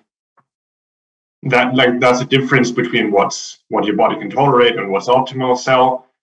Um, I still can't get really over the fact that I just want to go all in uh, in every workout and really overdo intensity most of the time. So when I ran the RGB bundle, I didn't really make any progress when I was doing the low rep phase in aesthetic compared to when I was running anabolic in the beginning in terms of my strength levels. And when you then recently introduced the anabolic advanced, I was like, oh, deload week sounds like that might actually be the solution for me. So my question is, how would you schedule and then also design uh, deload weeks in your programs in terms of reps, um, sets, weights, exercises compared to the normal program? uh, in order to allow for the super compensation to happen? Yeah. Yeah, cool question. Very This- good question. Yeah, yeah, good okay, question. so I want to say this to you and also to anyone else that's listening. Most people get the, the comments we often get on our programs, in all the programs, especially the core ones, right? Maps Anabolic, Maps Performance, and Maps Aesthetic. A lot of people say, Maps Anabolic, I got such great results. Um, and then we'll hear sometimes people say, with aesthetic, I felt over overtrained or burned out. Aesthetic is very high volume. And for a lot of people, it's going to be too much volume. This is a bodybuilder type routine. Anabolic is appropriate for probably 85% of the people watching and listening, meaning it's not that you can't handle more. It's just you're going to, it's appropriate. It's going to give you the best types of results. Okay, so let's get into deload weeks for a second. Deload weeks are phenomenal, but it's not going to solve the problem of consistently doing too much. It's like a band aid, and it could be a good band aid, uh, and it will cause your body to start progressing again, but it's not going to fix the problem, which is when you're training, you may be just applying too much too often. So I'll answer your question first, but then I'll tell you what I think you should, uh, what what else you should probably do. With deload weeks with our programs, you you're you're probably going to do great doing one deload week after every single phase. So after phase one, you do uh, one week of a deload week. After phase two, you do another deload week. After phase three, you do another deload week before you move to the next program. What does a deload week look like? Uh, this will this will make it easy for most people. a lot of Fifty percent. No. 50% volume, 50% intensity, 50% frequency. All three of those, not one, not two, but all of them. So look at your total volume, total frequency, total intensity, cut everything in half. So if you're working out three days a week or four days a week, you're going to work out one or two days that week. If you're doing 10 sets for a body part, you're doing five sets for the body part. If you're lifting 50 pounds for 10 reps, you're going to lift 25 pounds for 10 reps. So it's 50, 50, 50. That's what a deload week looks like. It's not a workout at all. You're basically going to the gym and moving your body through range, you know, full ranges of motion, doing some exercises, and really you're just you're facilitating recovery. You're not trying to do anything other than uh, facilitate recovery. Now, for you, what I'm also going to recommend is this: when you follow a program like Aesthetic, which is again very high volume type program, and this is for anybody listening, uh, you're probably going to be you're probably going to get great results if you just cut the volume down by a third. So, however many sets we recommend, do uh, One less. yeah, do one less. If it's three sets, do two. If it's four sets, do two or three type of deal. So look at your total sets, cut them down by a third. Boom. The program is probably going to be um, appropriate now for you. So you can follow any of our programs if you're finding that you're overtraining often on our more advanced type programs or high volume type programs. We'll then uh, cut everything down by a third. You still follow the same programming. Everything's the same. You're going to feel amazing. Now you're following MAPS Anabolic Advanced. I probably need to say this to someone like you. In the program, there's an optional third exercise or an optional third set to failure or whatever. Don't do the optional third set or third whatever. In fact, I, we, you know, we actually got in a debate here in the studio over whether or not I should even add it because we know people end up doing the max that we put in there. Um, most, the vast majority of people were better off not doing the optional extra. So do the do the the you know with how it's laid out and don't do the optional with that, and then you'll probably get phenomenal results with that program. So, a couple things to add. Um, one, just so you you know, uh, that challenge maybe never ends. Okay, we here we're sitting here on this podcast talking about it. We still have this challenge ourselves. So when you like to work out and you enjoy lifting weights, um, and you've seen great progress in the time that you're doing it, we we tend to do that ourselves. Like we're always skirting those lines, and so it'll be a probably lifelong challenge of always kind of like motivating yourself to push and then learning how to pull back when you need to. Sal gave you some really basic uh, recommendations on the 50%. I think that's really cut and dry, and you could pretty much apply that formula to any type of a workout, and that's a perfect deload week. I like to take a deload week and make my my client and individualize it. Meaning, if I was training you and you were you were complaining about certain things, ah, like my hips are my my hip my left hip is nagging me all the time. Adam right after a phase one workout or that, or you know, I'm really stiff here, or you know, I would do like a week of actually like uh, since you have this all the RGB bundle, like uh, performance, the mobility days. I, I one week of like just mobility work would be phenomenal and specific to the areas that you need to be addressing. Like, like, I just threw out the hip thing. I have no idea if that's an issue for you or not, but it's common, right? Somebody they squat heavy, deadlifting heavy, all of a sudden they start to notice hip stuff going on. And so instead of just following anabolic by 50% on, I would say, hey, this week we're doing all mobility work and we're going to focus on 90 90s and your combat stretch and lizard with rotation and some scorpions and like i'm going to i'm going to ha- pick a handful of mobility moves and you're basically going to do that all week long. Maybe I let you sprinkle a little bit of like uh, focus session work in there, some cable work for your arms or something like that. That maybe maybe you don't have any issues in your upper body. It's just kind of lower body stress or low back type stuff. So maybe I let you do some shoulder work and some uh, bis and tris and do that type of work on cable machines for that week, and then all mobility. Like that would like that could be a deload week for you, and and and learning to tailor it to the area. And no one knows better than you, right? Unless you had a coach or a trainer, like what you neglect, like that you know you should probably do more of. And I'm just going to guess that it's probably mobility recovery type, active mm-hmm. recovery stuff, since that's a, typically what most people neglect. And so I would I would build a week of deload around that stuff. Yeah, I like that a lot. I I was going to reiterate the same same kind of stuff in terms of like really specifically targeting things that have been talking to you within your program. Um, like you'll notice like certain tightness in your shoulders, your hips, and and you know addressing that in the deload week is the best time to do that. Adding in uh, unilateral training is a really good way to address that as well. Um, so that way you can also reduce down the load uh, and, and really like uh, individualize and, and, and specifically work on one side versus the other to make sure that uh, they're both functioning properly. So, you know, just being a little more specific with it, but yes, like cutting that overall volume and that intensity down. What programs do you own? Um, currently RGB, and then I also got Powerlift and Split. Although I haven't started those yet because I don't feel ready for them in terms of the um, intensity. I I think And I also got Prime and Prime Pro. Oh, okay, good. You do have Prime Pro. So Prime Pro, uh, you know, another one that would be worth maybe would throw your way is Maps 15. Dude, because uh, if you did a cycle of Maps 15, I bet you. Oh, yeah. I bet Yeah. you would love it. Do the Yeah. 20 minute version. the- Yeah. that- Your body would probably do well. on yeah. that Do the for sure. advanced version, and I, I bet you would. Yeah, I I, like- bet your strength would go through the roof on that. I like that. Oh, that, that would absolutely be amazing. Yeah. I mean, I love working out, so doing that every day and just reducing the time would be phenomenal. So thank you so much. Yeah, yeah. You got it, man. Yeah, we'll send that over to you. And you know what? If you uh, find yourself wanting to do more or spend more time in the gym or the workout, do it mobi- mobility. That's it. So follow Maps 15 as it's laid out for the 20 minute version or the the advanced version. And then if you find yourself wanting to do more or be in the gym longer, just completely direct that all to mobility stuff from Prime Pro or from Performance Mobility. Yeah, I mean, with the priming up front that I normally do, I also, uh, anyway, I spend more time anyway. So Okay, cool. Oh, good. Good, good. Johan, thanks for calling in, man. Yeah, yeah, dude. I, can I say one more thing for any new listeners that might be listening? yeah. Yeah. Um, because recently you mentioned that in the beginning, people usually just go for the single topic episodes or skip the intros and just watch the or listen to the questions, which I also did.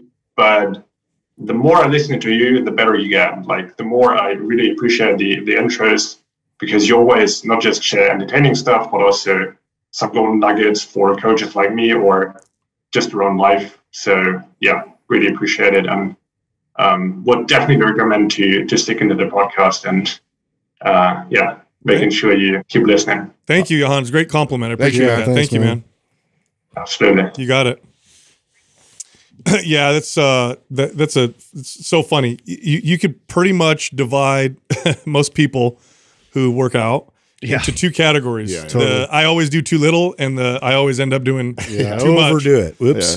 Yeah. You know, and it's uh it's challenging. You're Well- absolutely right. You said we still do. I mean, I this We is all like do. My, I my mean, struggle. it's one of the. It's also one. I mean, uh, Doug and I were the other day. We are talking afterwards, and I was having this actual same conversation with Katrina because she's just like, "Man, you have this ability to like switch and and get in shape so quick and fast." I'm like, you know, what? that is years and years Mm-hmm. and years of not doing it well and right, and really honing in on like knowing how to apply just the right Yeah. amount of intensity and to change You know your body at a, a new level. yeah, and and honestly, the it's it's really crazy. It's very little. That's why you I, I do I love hearing him you know repeat what we talk about with the you know doing as little as possible, elicit the most change, and then what your body uh, can tolerate is different than what's optimal for it because that is the game in this. The game is learning where, and we're all unique and different. Is what what's the least amount I can do inside the gym and with my nutrition to elicit more change, and I just want to tweak that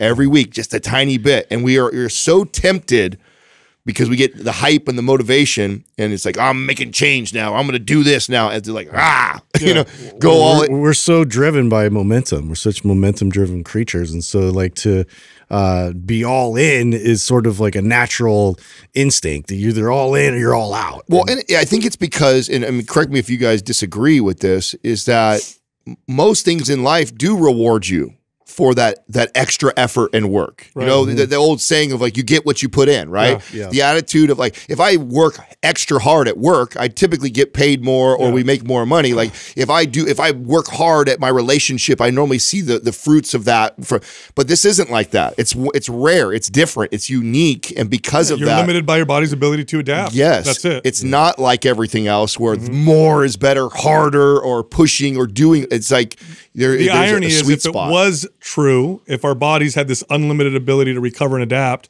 this would be easy. Yeah. I would just tell people, "Oh, well, here's Do what you more do. and more and more and Perpetual more. progress. Yeah, you right? you'll oh Always easy. crush, you'll Yeah. crush. Here's a seven hour workout, and you're going to get incredible incredible results. Doesn't work that way. Our next caller is David from Australia. David, what's happening, man? How can we help you?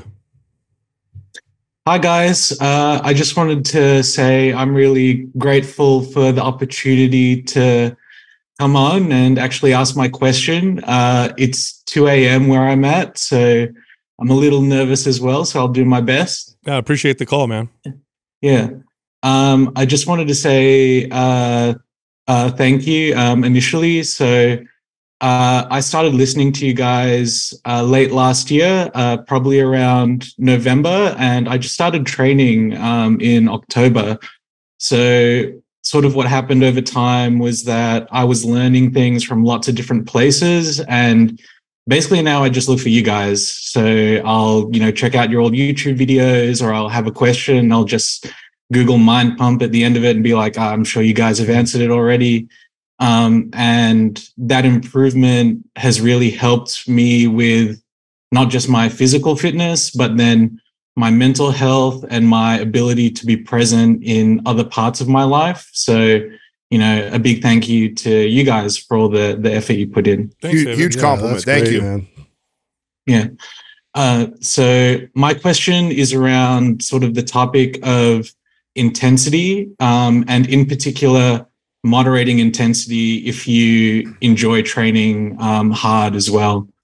So to give you a bit of um, context, so over the past few me- few weeks, um, I've been pushing myself, and sometimes I've been a bit over eager on upping the weight. Sometimes I'll fail on compound movements um, mid set, so I won't finish all the reps. Um, I also have um, uh, some pretty intense ADHD. So, one of the things I've noticed is that when I focus and get in the zone, um, I don't get the signal that I'm fatigued or I'm at my limit until quite late. So I'm sort of the guy who always thinks there's one more rep in the tank or there's just a bit more juice to give, regardless of whether it's there or not. So um, my actual question is uh, sort of a two-parter. So the first part is what are some cues um, or some information that could help me figure out when I'm at my limit um, in terms of intensity? And then the follow up to that is when I've realized I've hit my limit, what are then some techniques that I can use to help me moderate the intensity um, for the rest of my training session so I have a more sustainable workout? Oh, yeah. I love this question. Yeah. So, fellow ADD uh, person over here. so, I can completely relate uh, to what you're talking about uh, when it comes to intensity. When you're getting that that space in that zone, it's a superpower sometimes, uh, but sometimes it's definitely something that- can be detrimental. Okay, so here's a few tips that have helped me with this exact uh, issue. Number one, you want to practice what you're talking about when you're not in the space or in the zone because it has to be something that you this is a skill that you have to learn and in that space or when you're in that in the zone trying to learn it when you're in that space is going to be almost impossible. So what does this look like? Before you do your workout maybe the day before or a week before i used to find that i was better at this the further i was away from the workout. So if it was a week before i was much better at this at planning this than i was the day before and definitely day of or in the workout. In the workout forget it everything out the window. But if I could do this the week before, when I felt calm and logical, I would write out what I was going to do. And then in the workout, all I would tell myself is, I'm going to stick to what I wrote, regardless of how great I feel, regardless of how much more I think I can do. So, what that looks like is when I'm in that logical, calm space, and I'm not in that space of like in that zone and, and whatever, and I'll say, okay, um, you know, last time I squatted, I did, you know, X amount of weight for this many reps. It would be, it's probably wise to stick to this weight for this many reps. So I'm going to do that. And I'm doing it in a state of mind where I can probably trust myself. Then when I get into the workout, I have that paper or I have it written down somewhere. I look at this and I say, okay, I'm going to trust myself because I know when I was in that space, I was quite logical and not feeling the way I am now, which is like I can do anything. So I'm looking at this and it says to do 10 reps with 120 pounds. So then that's all I'm going to do. So I get into the bar, I do my 10 reps, and I'm like, oh my God, I want to do five more. No, no, no. I'm going to stick to exactly what I wrote down. So that right there helps a lot. And then what it does is as you practice this, you start to get used to the feeling of doing the appropriate amount of intensity when you're in the zone. So this is a practice. And the more you do this, the more often you do this, the better you'll get at recognizing what the appropriate amount of intensity is when you're in that particular space. Does that does that make sense to you?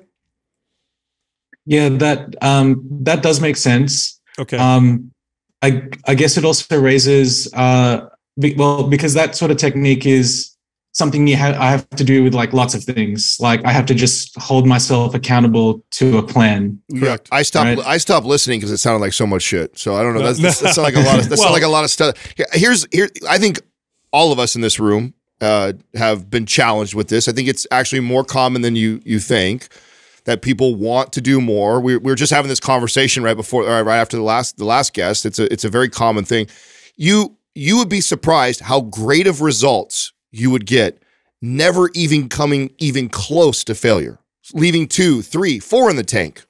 Uh, yesterday I was I was deadlifting. I hadn't deadlifted in a long time. I started with 135. Uh, I got to 225, and 225 felt heavy. Now I'm strong enough to know that I could, if I wanted to, go 315 and above, no problem. But it, I could feel that the weight was challenging enough that I'm getting work. And so there was no need to throw another 90 to 100 more. I could do a 90 to 100 more pounds for sure with the eight reps that I was working with, and I didn't go. I just I just stayed at that weight because I know I don't need to. Here's a here's a challenge with that, Adam, is that that I think you're selling to David why he should moderate his intensity. I think, and correct me if I'm wrong, David. I think you know that. I think the challenge is when you're in that space, you do it anyway. Is, Yeah. Am I correct?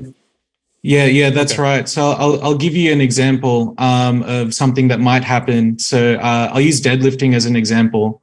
Um, so let's say, for example, I'm doing a few sets of deadlifts. Let's say I'm doing like uh, a five by five or something like that. Um, I come in, I'm feeling good. I do my warm up. I do my first two sets, and I feel like real strong. I feel like top of the world, and I'm like, maybe it's time. I think maybe I'm ready. I'm feeling good. So I'll do my third set and maybe I'll see if I can add an additional rep or I'll see if I can up the weight. And then um, I go for it and I go, oof, that's a bit too hard. And then um, what then sort of will happen from that is I'll go, okay, that was too hard. I'll go back to um, the weight and the scheme I was previously doing, but now I've gassed myself out, um, which sort of leads into that other question of saying, well, oh, okay, well, what is the best option for me from from this point? Um, and and and I've done that a few times. So David, so so Hmm. again, you, you you were about to say something before you got cut off. You said that you have to do that with a lot of things where you plan and you set yourself up with kind of structure. Let me ask you a question. Yeah. Why do you why do you end up why do you do that with a lot of things?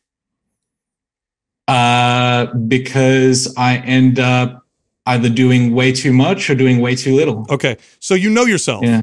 You know that you get caught up in the moment. Is that is Yeah. that is that accurate? Okay. Yeah, that's the aspect. Okay. So what you've done with other stuff, which sounds to me like that's a strategy that's worked for you, is what you should do with your workouts. Just what I said earlier. So I know Adam said it sounds like too much. I'm telling you, if you practice ahead of time, write down what you're going to do, and then the only thing you have to tell yourself in your workout is, "I'm going to do what I wrote down, nothing more, nothing less. I'm going to do exactly what I wrote down in the workout." do that. Now, what'll happen over time, which is now the place that Adam is talking about, because he's been working out for a long time, so have I. Over time, you can make these decisions because you've practiced and you've developed a skill. Because I guarantee you, 15 years ago, uh, that was not a skill that Adam had. It was not a skill that I had. I did the exact same thing you did. I'd get caught up in the moment and I would lift too much. And it took me a long time, 43 years old, 44 now. And now I can do this, but I've practiced over time. So this is a, you just started working out in October. You gotta pra- you gotta develop the skill, and it's not gonna happen in the moment. What'll happen in the moment is you'll keep doing this over and over and over. And uh, maybe you'll learn in 10 years, but if you want to figure this out faster, write out what you're gonna do before, maybe days before, and then just stick to that. No matter how great you feel, just stick to that. Over time, you'll end up developing that skill, and what'll reinforce that is the results that you get. Then you'll be like, oh my God, I'm feeling great. Oh my God, this is amazing. And then that'll reinforce the development of this particular skill. But if you don't plan ahead of time hmm. with someone like you, this isn't for everybody, by the way, but I'm, I'm this is specifically for you. You mentioned your intense ADHD. You mentioned how this is something you have challenged with other things.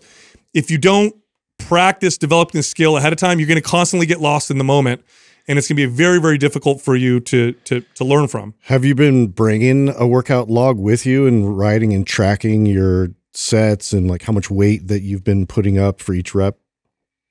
Yeah. Uh, so actually, uh, I just finished the first phase of MAPS Anabolic. So I did the um, pre-phase as well. Um, so I'm sort of tracking along with that, and I try to keep um, my sets and reps consistent, and then I sort of play with the weight and see how that goes. How often do you kind of push it? So if you're running it just as it is, like, uh, and you're kind of tracking and noticing what weight you started out with, like, when do you start kind of pressing it? Uh, maybe like, gosh, uh, it's hard to say off the top of my head. I would say maybe like every, I let like a, a whole week pass and then a week or a week and a half and see how I feel. And um, then That sounds good. Yeah. That Okay. sounds I'm really just good. trying to see how you're like kind of perceiving this, when to kind of push, when to kind of just track and see what your ability is for that day. Uh, and just, yeah, the overall planning itself, it sounds like is, you know, this is going to be beneficial for you, at least for that knowledge of like, this is kind of my base and this is where I am with this lift and when to kind of like push and pull with that. That's, this is just something you learn as you, you build and develop more experience, uh, being in the gym. What what is the what's the negative feedback that you're getting from actually this? I don't, I don't even think we've covered that. Like we're just talking about strategies to get you to not do this mentally, but uh, why why has this become a bad thing for you? What are you are you are you finding aches and pains? Are you seeing a re- are you regressing and getting weaker? Like what what are because I, I didn't even think to mention like uh, you could this could be okay. what, what, yeah. Yeah.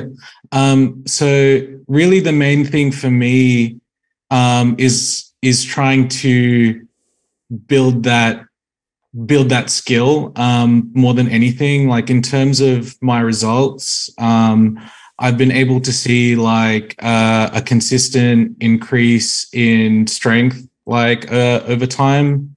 Um, so really for me, it's more about um, trying to understand and build that skill and then also um, try to f- try to sort of factor it in into um, the rest of my like training because um, the past like i think probably a couple of weeks or so in particular what i've what i've started to pick up on is that um, that sort of like deadlift scenario i mentioned where i'll push too hard early and then I'm just exhausted for the rest. And I'm like, oh, I wish I could avoid this so I could be more consistent. So That's smart. I mean, so another another smart approach. Yeah. You're, you're, by the way, you're going to make gains uh, with with with a lot of mistakes right now because you're so new. Right. Also, So a, a strategy when I when I have a new lifter, um, because we always think of adding more weight to the bar as a way to progressively overload.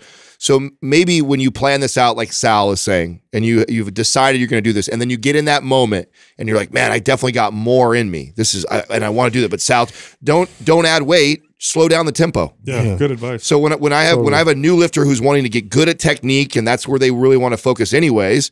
When they are tempted to add more weight, don't add more weight. Slow the rep down. You can make 135 pounds, Th- th- and that's what I did with the 225 I don't So even when I- think you're making a mistake though, even just kind of pushing for that because that's you're why not, I, you're not going to know. That's right? why I asked Yeah. that too. I was like, it doesn't I- sound like you're. This is just it, data. This, these are data points. So then you come back at your next workout. You know that like you pushed it a bit too early the last time. You just have to track that, so that way you don't make that same mistake. Yeah, and perfecting your form is so important. I mean, what Adam's saying is so valuable Yeah. because because you're new, when something feels like you can add 10 pounds, you're actually going to get more value out of making the next set look even more perfect. especially with things like deadlift and squat. Oh, like yeah. literally, I'm I'm in this 20 something years and I'm deadlifting yesterday. I know I can increase the weight, but I also know like I haven't deadlifted in a while and that's such a technical exercise like I just decided to slow my tempo down. And make it look even better. Yeah, and just and just perfect how I feel it, how how everything's firing. Like it just and man, that made and I'm sore as shit today. So it totally made that 225 more than effective as far as sending a signal to adapt. So instead of you know adding weight, when you get tempted like that again, just slow the reps down. Mm-hmm. Don't add more weight. Just slow the tempo mm-hmm. down. Take your negative, add an extra two seconds to your negative, and watch what happens. Yeah, or you know, like what I like to do is I like to think of like, all right, let me ground better with my feet. Let me get my positioning even better. Was I tight in my lats while I was pulling this? Was my form absolutely perfect? Let me try and perfect it even more. Pause at the squeeze. the Yeah, like the movement. like those mm-hmm. are all ways to progress the lift without having to add uh, more weight to the bar. And for beginners, I would invaluable. I would argue that it's more valuable than adding weight to the bar. Uh, ab- uh, absolutely. That's exactly what I used to do with clients when we first started, and they told me, "Oh, this is light, Adam." I'd say, "Slow it down." yes. Uh, they, they, they'd want to add weight, and I say, "No, slow it down." Like we let's do all that first before we could always add weight down the road. Like let's slow down and, and focus on the especially on squeeze and the negative, and resisting the negative and like you know pausing in the contraction. Like I mean, there's so many things that we can do with the technique of it. Sal's point, gripping with the floor, and thinking of the position of your neck and your head and your core, and like there's so many other parts with a, especially a technical lift like the deadlift that I can progress you in without ever adding load to the bar, and you will see progression. You'll get better, you'll get stronger, you'll build muscle, and we don't have to add you know 15, 20 more pounds to the bar. Yeah, and then the other part of your question was, well, you know, what if you do make that mistake? How do I get back into the workout?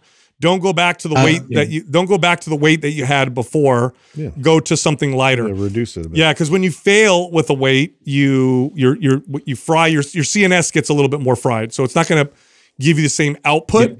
So you can't always go back to the the weight that you had on the bar before. So let's say you went you went from 175 to 225. 225 was too much. Now you're exhausted. Go down to 155, not to 175. Does that make sense? Right. Yeah, yeah, that does make sense. Um, and I wanted to ask about the, that a little, a little bit. Um, uh, so I think I can sort of guess what the answer is based on the direction you guys are going in. But would that it if if I do that? So let's say let's say that exact scenario is I drop the weight below where I was at before. Is that just purely an indication of the fatigue that I'm now feeling? Like it doesn't have any effect on um, the quality of the workout or the Oh, no. results or anything like that. No. Yeah, no, yeah, if no. anything, that's not, that's now you've you've saved the workout. Yeah. Mhm. Yeah, I, I've done it to the point right. where, and the stronger you get, the more this is even, the more of an impact this has. If I'm doing a full body workout and I start with say squats or deadlifts, and I do what you did, where I like I, I went Ruins the through a weight the down- workout. The the rest of the workout is easy, not just the rest of the deadlift workout or the rest of the squat workout. All right. The rest of the entire workout is easier, and it's not because I'm like, ah, scratch this workout, I've lost. Actually, I I saved the workout and I still progress. Yeah. No, that's uh that's really good. That's really good advice because um, um, I think I've started heading in that direction. Like, um, so with squats as one one example. Um, one of the things I'm doing with that now is that uh, because because I'm fairly tall, so um, I'm like just above six foot. When I started learning to squat, my range of motion like sucked because like I had to like move a lot. My balance isn't great, that sort of thing. So now that I sort of feel confident with the movement, um, I've actually been lowering the weight a bit and trying to focus on depth and Good. my ability to like hold Perfect, it, man. get out of the hole like safely. go. Safely, all that sort of stuff. Perfect. Great No, choice. that's it. Hundred percent. You must Yeah. listen to a great podcast. I know you're on track. You're on track. yeah, yeah. Uh, uh, I did say at the start uh, that I stopped learning from other places just from you guys. So uh, if you didn't like that answer, well, David, what what MAPS program are you following right now? uh, I'm following anabolic right now. Um, I bought the um, the New Year bundle, so Oh. I have like anabolic performance and Oh, aesthetic set. kit Oh. up to go. Oh, You're set, great. man. You're good. Yeah. Right on. Yeah. Good job, man. yeah, Thank you. You got it, mate. Thanks Thank for calling. guys. yeah. Keep it up. Thank you very much. You know, Good, uh, qu- good I, question. I, yeah, good. But you know what? Uh, we just went into like answering it, and I'm like, I know, yeah. I, I didn't actually hear an, a real problem Yeah. with Yeah. that. Like, But he had a great He's so answer to new to, yeah lifting. So Yeah. I had to like kind of bring it back. Yeah, I, to, like, I get a little. thoughts, it's yeah. funny because I, I, I he listening to him say his uh, his reason for it when you asked because I thought it was a great question you asked him. Um, like how great uh, of a position is he is, is he in as a beginner to to realize? And, Yeah, yeah. You know, it's because he's listening to our show. I think. Oh helping no, a his lot. mindset's perfect. Yeah, for him to be like, well, I just want to learn this skill. Oh Yeah. my god, I wish I, I had that mindset as a kid working out. I would have gotten so much better results. yeah, a bit of overthinking though. it is. yeah, I, I think like to Justin's point, like you know, it's kind of that's now. I mean, this happens to me still to this day, where I put a little too much on the bar, realize, oh, that was too much, then I got to go back the other way, and it's like you know. But I mean, I'll tell you what, you know, when he mentioned his, his how he feels, and then he said, "Oh yeah, I have to do that with a lot of things."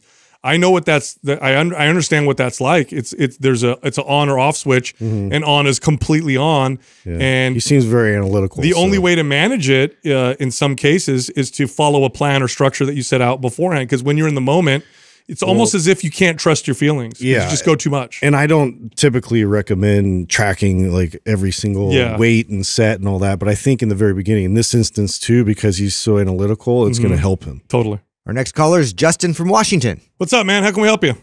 What's going on, guys? How you doing? Good. Uh, Dabney. Sweet. Uh, happy to be on the podcast with you guys.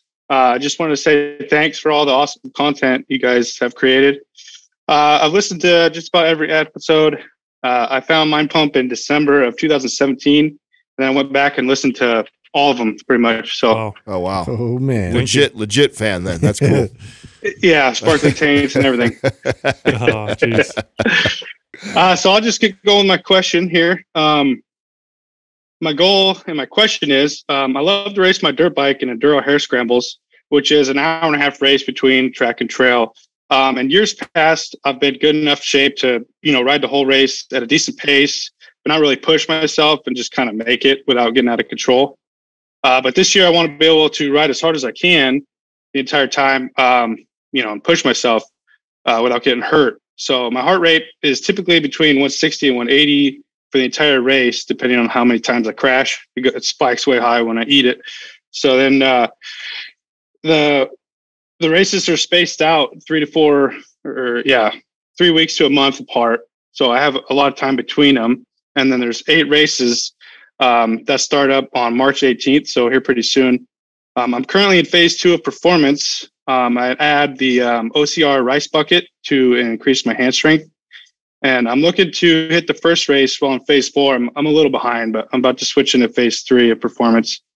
And then after that, my plan was to run maps strong uh, to keep my work capacity up if that works. Um, so my main question is during this in season, if you call it, uh, what should my training look like to get my full potential during these weekend races? I ride almost every weekend uh, in the trails to keep my body used to riding.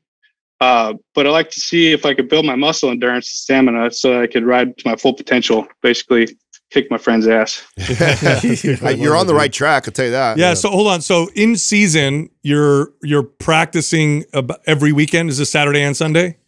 Yeah, when I can, you know, if life doesn't get in the way. Okay. But I try to go at least once a weekend. Okay, and then when you go out one, uh, on and and do your riding, how long? Because a lot of people don't realize. So this is good for people to know as well. I trained um, some dirt bike uh, racers, and uh, this when I first trained them, I had no idea just how much stamina and endurance is required to do this. It's it's insane. A lot of people don't know that, but it's pretty crazy. Wh- wh- How long are you tra- are you practicing for when you're going off on your own uh, on the weekends? So we typically will ride for, I don't know, an hour, an hour and a half, uh, take 10, 15 minute breaks, sometimes drink a beer, which is not Okay. always ideal, but, Okay. and then, and then you ride, dude. you ride more. So, I mean, you ride for basically, I don't know, we're usually on the bikes for four or five hours. Okay. Well, okay. So, uh, it, so my question, my answer would be different depending on you know what you just said. So you're riding once a week or so in season, except for when you're actually doing the competition, which is when you know when you're doing that that long race. Um, in that case, two or three workouts during the week would be totally fine. You could follow. I mean, there's there's a lot of our programs would be appropriate for. No, I think what he's doing is actually pretty damn I- good. yeah, I I, like performance and I like strong. I like the fact that you even added the rice buckets in from OCR. Like you're on a, a pretty damn good track. The only thing I could see that would make this better uh, for racing is to add a little bit more race pra- practicing on the dirt bike and reducing maybe a workout. So if you had the ability to get to the track one more day a week and spend the hour and a half to two hours doing that instead of a lift, because you're doing plenty lifting wise to have strength, to Yeah. have stamina, have endurance. The only thing that would make you even better at this race is to spend more time on the bike. Where do you find the your- like? What's your weakness with, with with your with your performance? Is it the stamina? Is it strength? Is it? Do you find pain anywhere on your Where do body? you fatigue uh, first? I, I guess. Um, well, I'd say most fatigue is in my well, my arms get pumped up, you know, arm Yeah. pump. Uh, so that's why I worked in the rice bucket to kind of help that. But then like my lower back gets kind of tight um, towards the end of the race. Um, you know, it's just uh, I would say my muscle endurance, like my stamina, is what holds me back because I get tired and I start making mistakes. You know, and you hit trees and stuff. So I don't want to do that. So I I just need to work on my endurance. yeah. I so, mean, don't you guys agree? Like the the Yeah. the biggest thing would be more riding. of course, You know, hundred percent. Another another like I would probably another reason why the low back might hurt too is you might be a little sore from the leg training and then you're sitting on a bike for three hours at a time and so the bike or so your low back is locking up and being tight. So I, I might Yeah. address some mobility work. I don't know if you take the time to do mobility before you get on the bike. I think that would be extremely beneficial to you, especially in the hips and Yeah. low back. So like And nine- core yeah. strengthening Yeah. and mobility. I think Yes, those are your two one-two punches. Yeah, what I found. So here, this is what's interesting about your scenario. You said your arms get pumped up.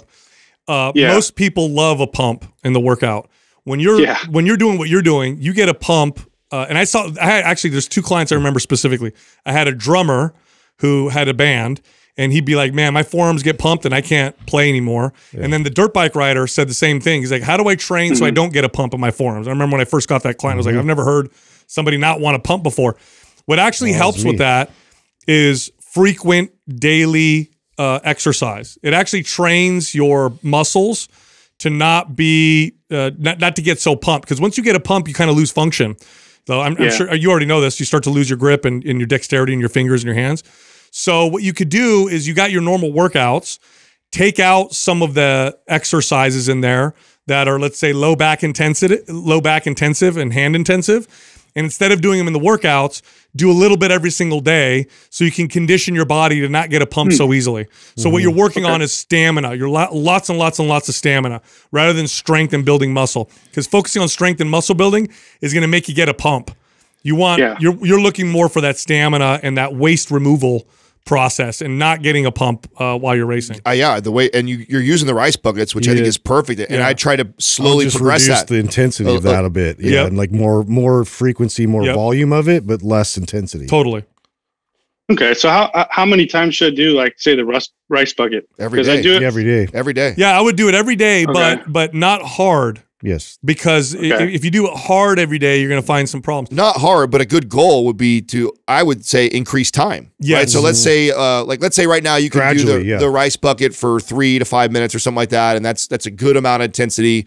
I might reduce it down to like two to three minutes every single day until that gets easy, and then I might try and get it to a minute more, and Yep. then a minute more on top of that, and Yep. so and then do it a second time a day, you know, for another minute. or yeah, two. so just slowly build it up with the goal of can you get in that Yep. rice for you know 10, 15 minutes, no problem, and like you get that stamina built up like that, it, that's gonna Yeah. carry over nice. Yep. Yeah, and I like Huh. those work sessions for this, you know, and like carrying, um, uh, like doing farmer carries and doing uh, suitcase carries and things like that too, Mm-hmm. where you're just constantly kind of condition your body to withstand. But keep the intensity But the- yeah, moderate exactly. at Yes. most. You're not going high intensity on your hands and your forearms and your arms. Grip strength is different than grip stamina.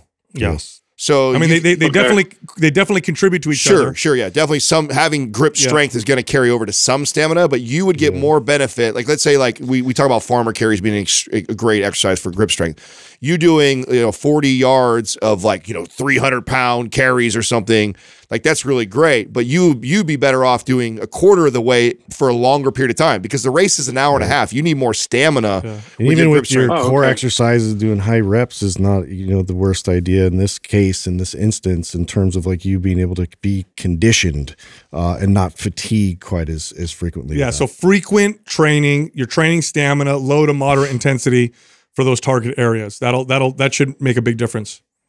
Okay, and then so like I could hit the weights like because there's a month between them basically, so I could hit the weights uh, three weeks hard, and then like maybe back off the last week, uh, Yeah. the week of the race. Yeah, you could do that. especially especially uh, legs and stuff because you feel low back stuff. So my theory would be you probably hit you know lunges or squats or you did something pretty hard that week and you're still kind of tight from that and then you go sit on a bike and that's probably locking the low back up. Mm-hmm. So the final Yeah. week before you go do a race, I'd actually probably pull out either all of your legs or reduce it to like just mobility type Yeah, stuff up for your your legs. Okay. And then that Okay. and, and watch what how you feel from that race. last, Totally. like two weeks. Okay, that's perfect. Thank you. You got Cool. it, man. Um, and then um, it's kind of like the, within the same. It's it's called the. Uh, it's another race, but it's way longer. I think it'd be pretty similar answer, but it's called the Desert 100. Uh, it's a hundred mile race, which takes about five and a half hours. Um, on my bike as well, but it's pretty much the same thing, correct? yep. Just Mhm. Exactly. just more more of the same. Yep. And and then during this time, I've I've I weighed about 255 about uh, two months ago now. I'm down to 226. Would it be a bad idea to to like cut because I'm trying to get, be lighter on my bike. Uh, I don't want to be heavy on the. You know, it's harder on everything. Yeah. Uh, would it be a bad idea to to cut like during the three weeks where I can lift and then maybe like eat at a maintenance No. slash No, that's o- that's okay because okay, I so like there- this is a trade off. There's a trade off. You get the value of being lighter on your bike, which makes it easier, but the trade off is less down. calories can sometimes sacrifice recovery um, Yeah. and performance. So you can cut, but I would keep the cut very, very modest at Yeah. most. So you're not going down five, six hundred calories below maintenance. You're like two, three hundred calories below maintenance. So slow cut is a smart way to do this. Don't be aggressive with it. Okay. All right, that makes sense. Yep. Perfect. You got it, man. Thanks for calling in. Awesome. I yeah, I appreciate it. Yeah, good luck. Circle brother. back. Let us know how you do, man. Okay. Thank you. Sounds good. Take it easy. All right. I just I just realized he said he rides his dirt bike for an hour, takes a break, drinks a beer, and gets back on his bike, rides again. Performance fuel, Sal. I don't know if that's is that a good idea, bro. Let's drink and then do this again. That's like par for the course dude, I with know. these guys. I I love know, it. it's Yeah. crazy. But yeah, the stamina thing with the hands. Uh, I remember, uh, you know, doing judo and jujitsu. You, you know, you, you're gripping the gi, Mm-hmm. and my, you know, forearms would get so pumped, and then my hands were useless. I Mm-hmm. had the strongest hands in the gym, strong grip. But then when they got pumped, which I loved in the gym, I love a pump in the gym. But when I would grip a gi and my hands were pumped, it was like I had like useless claws. I couldn't do anything. Yeah, anymore. you mentioned the drummer. Like I, this is like before we would play a show, and I, I was even just playing guitar. Yes.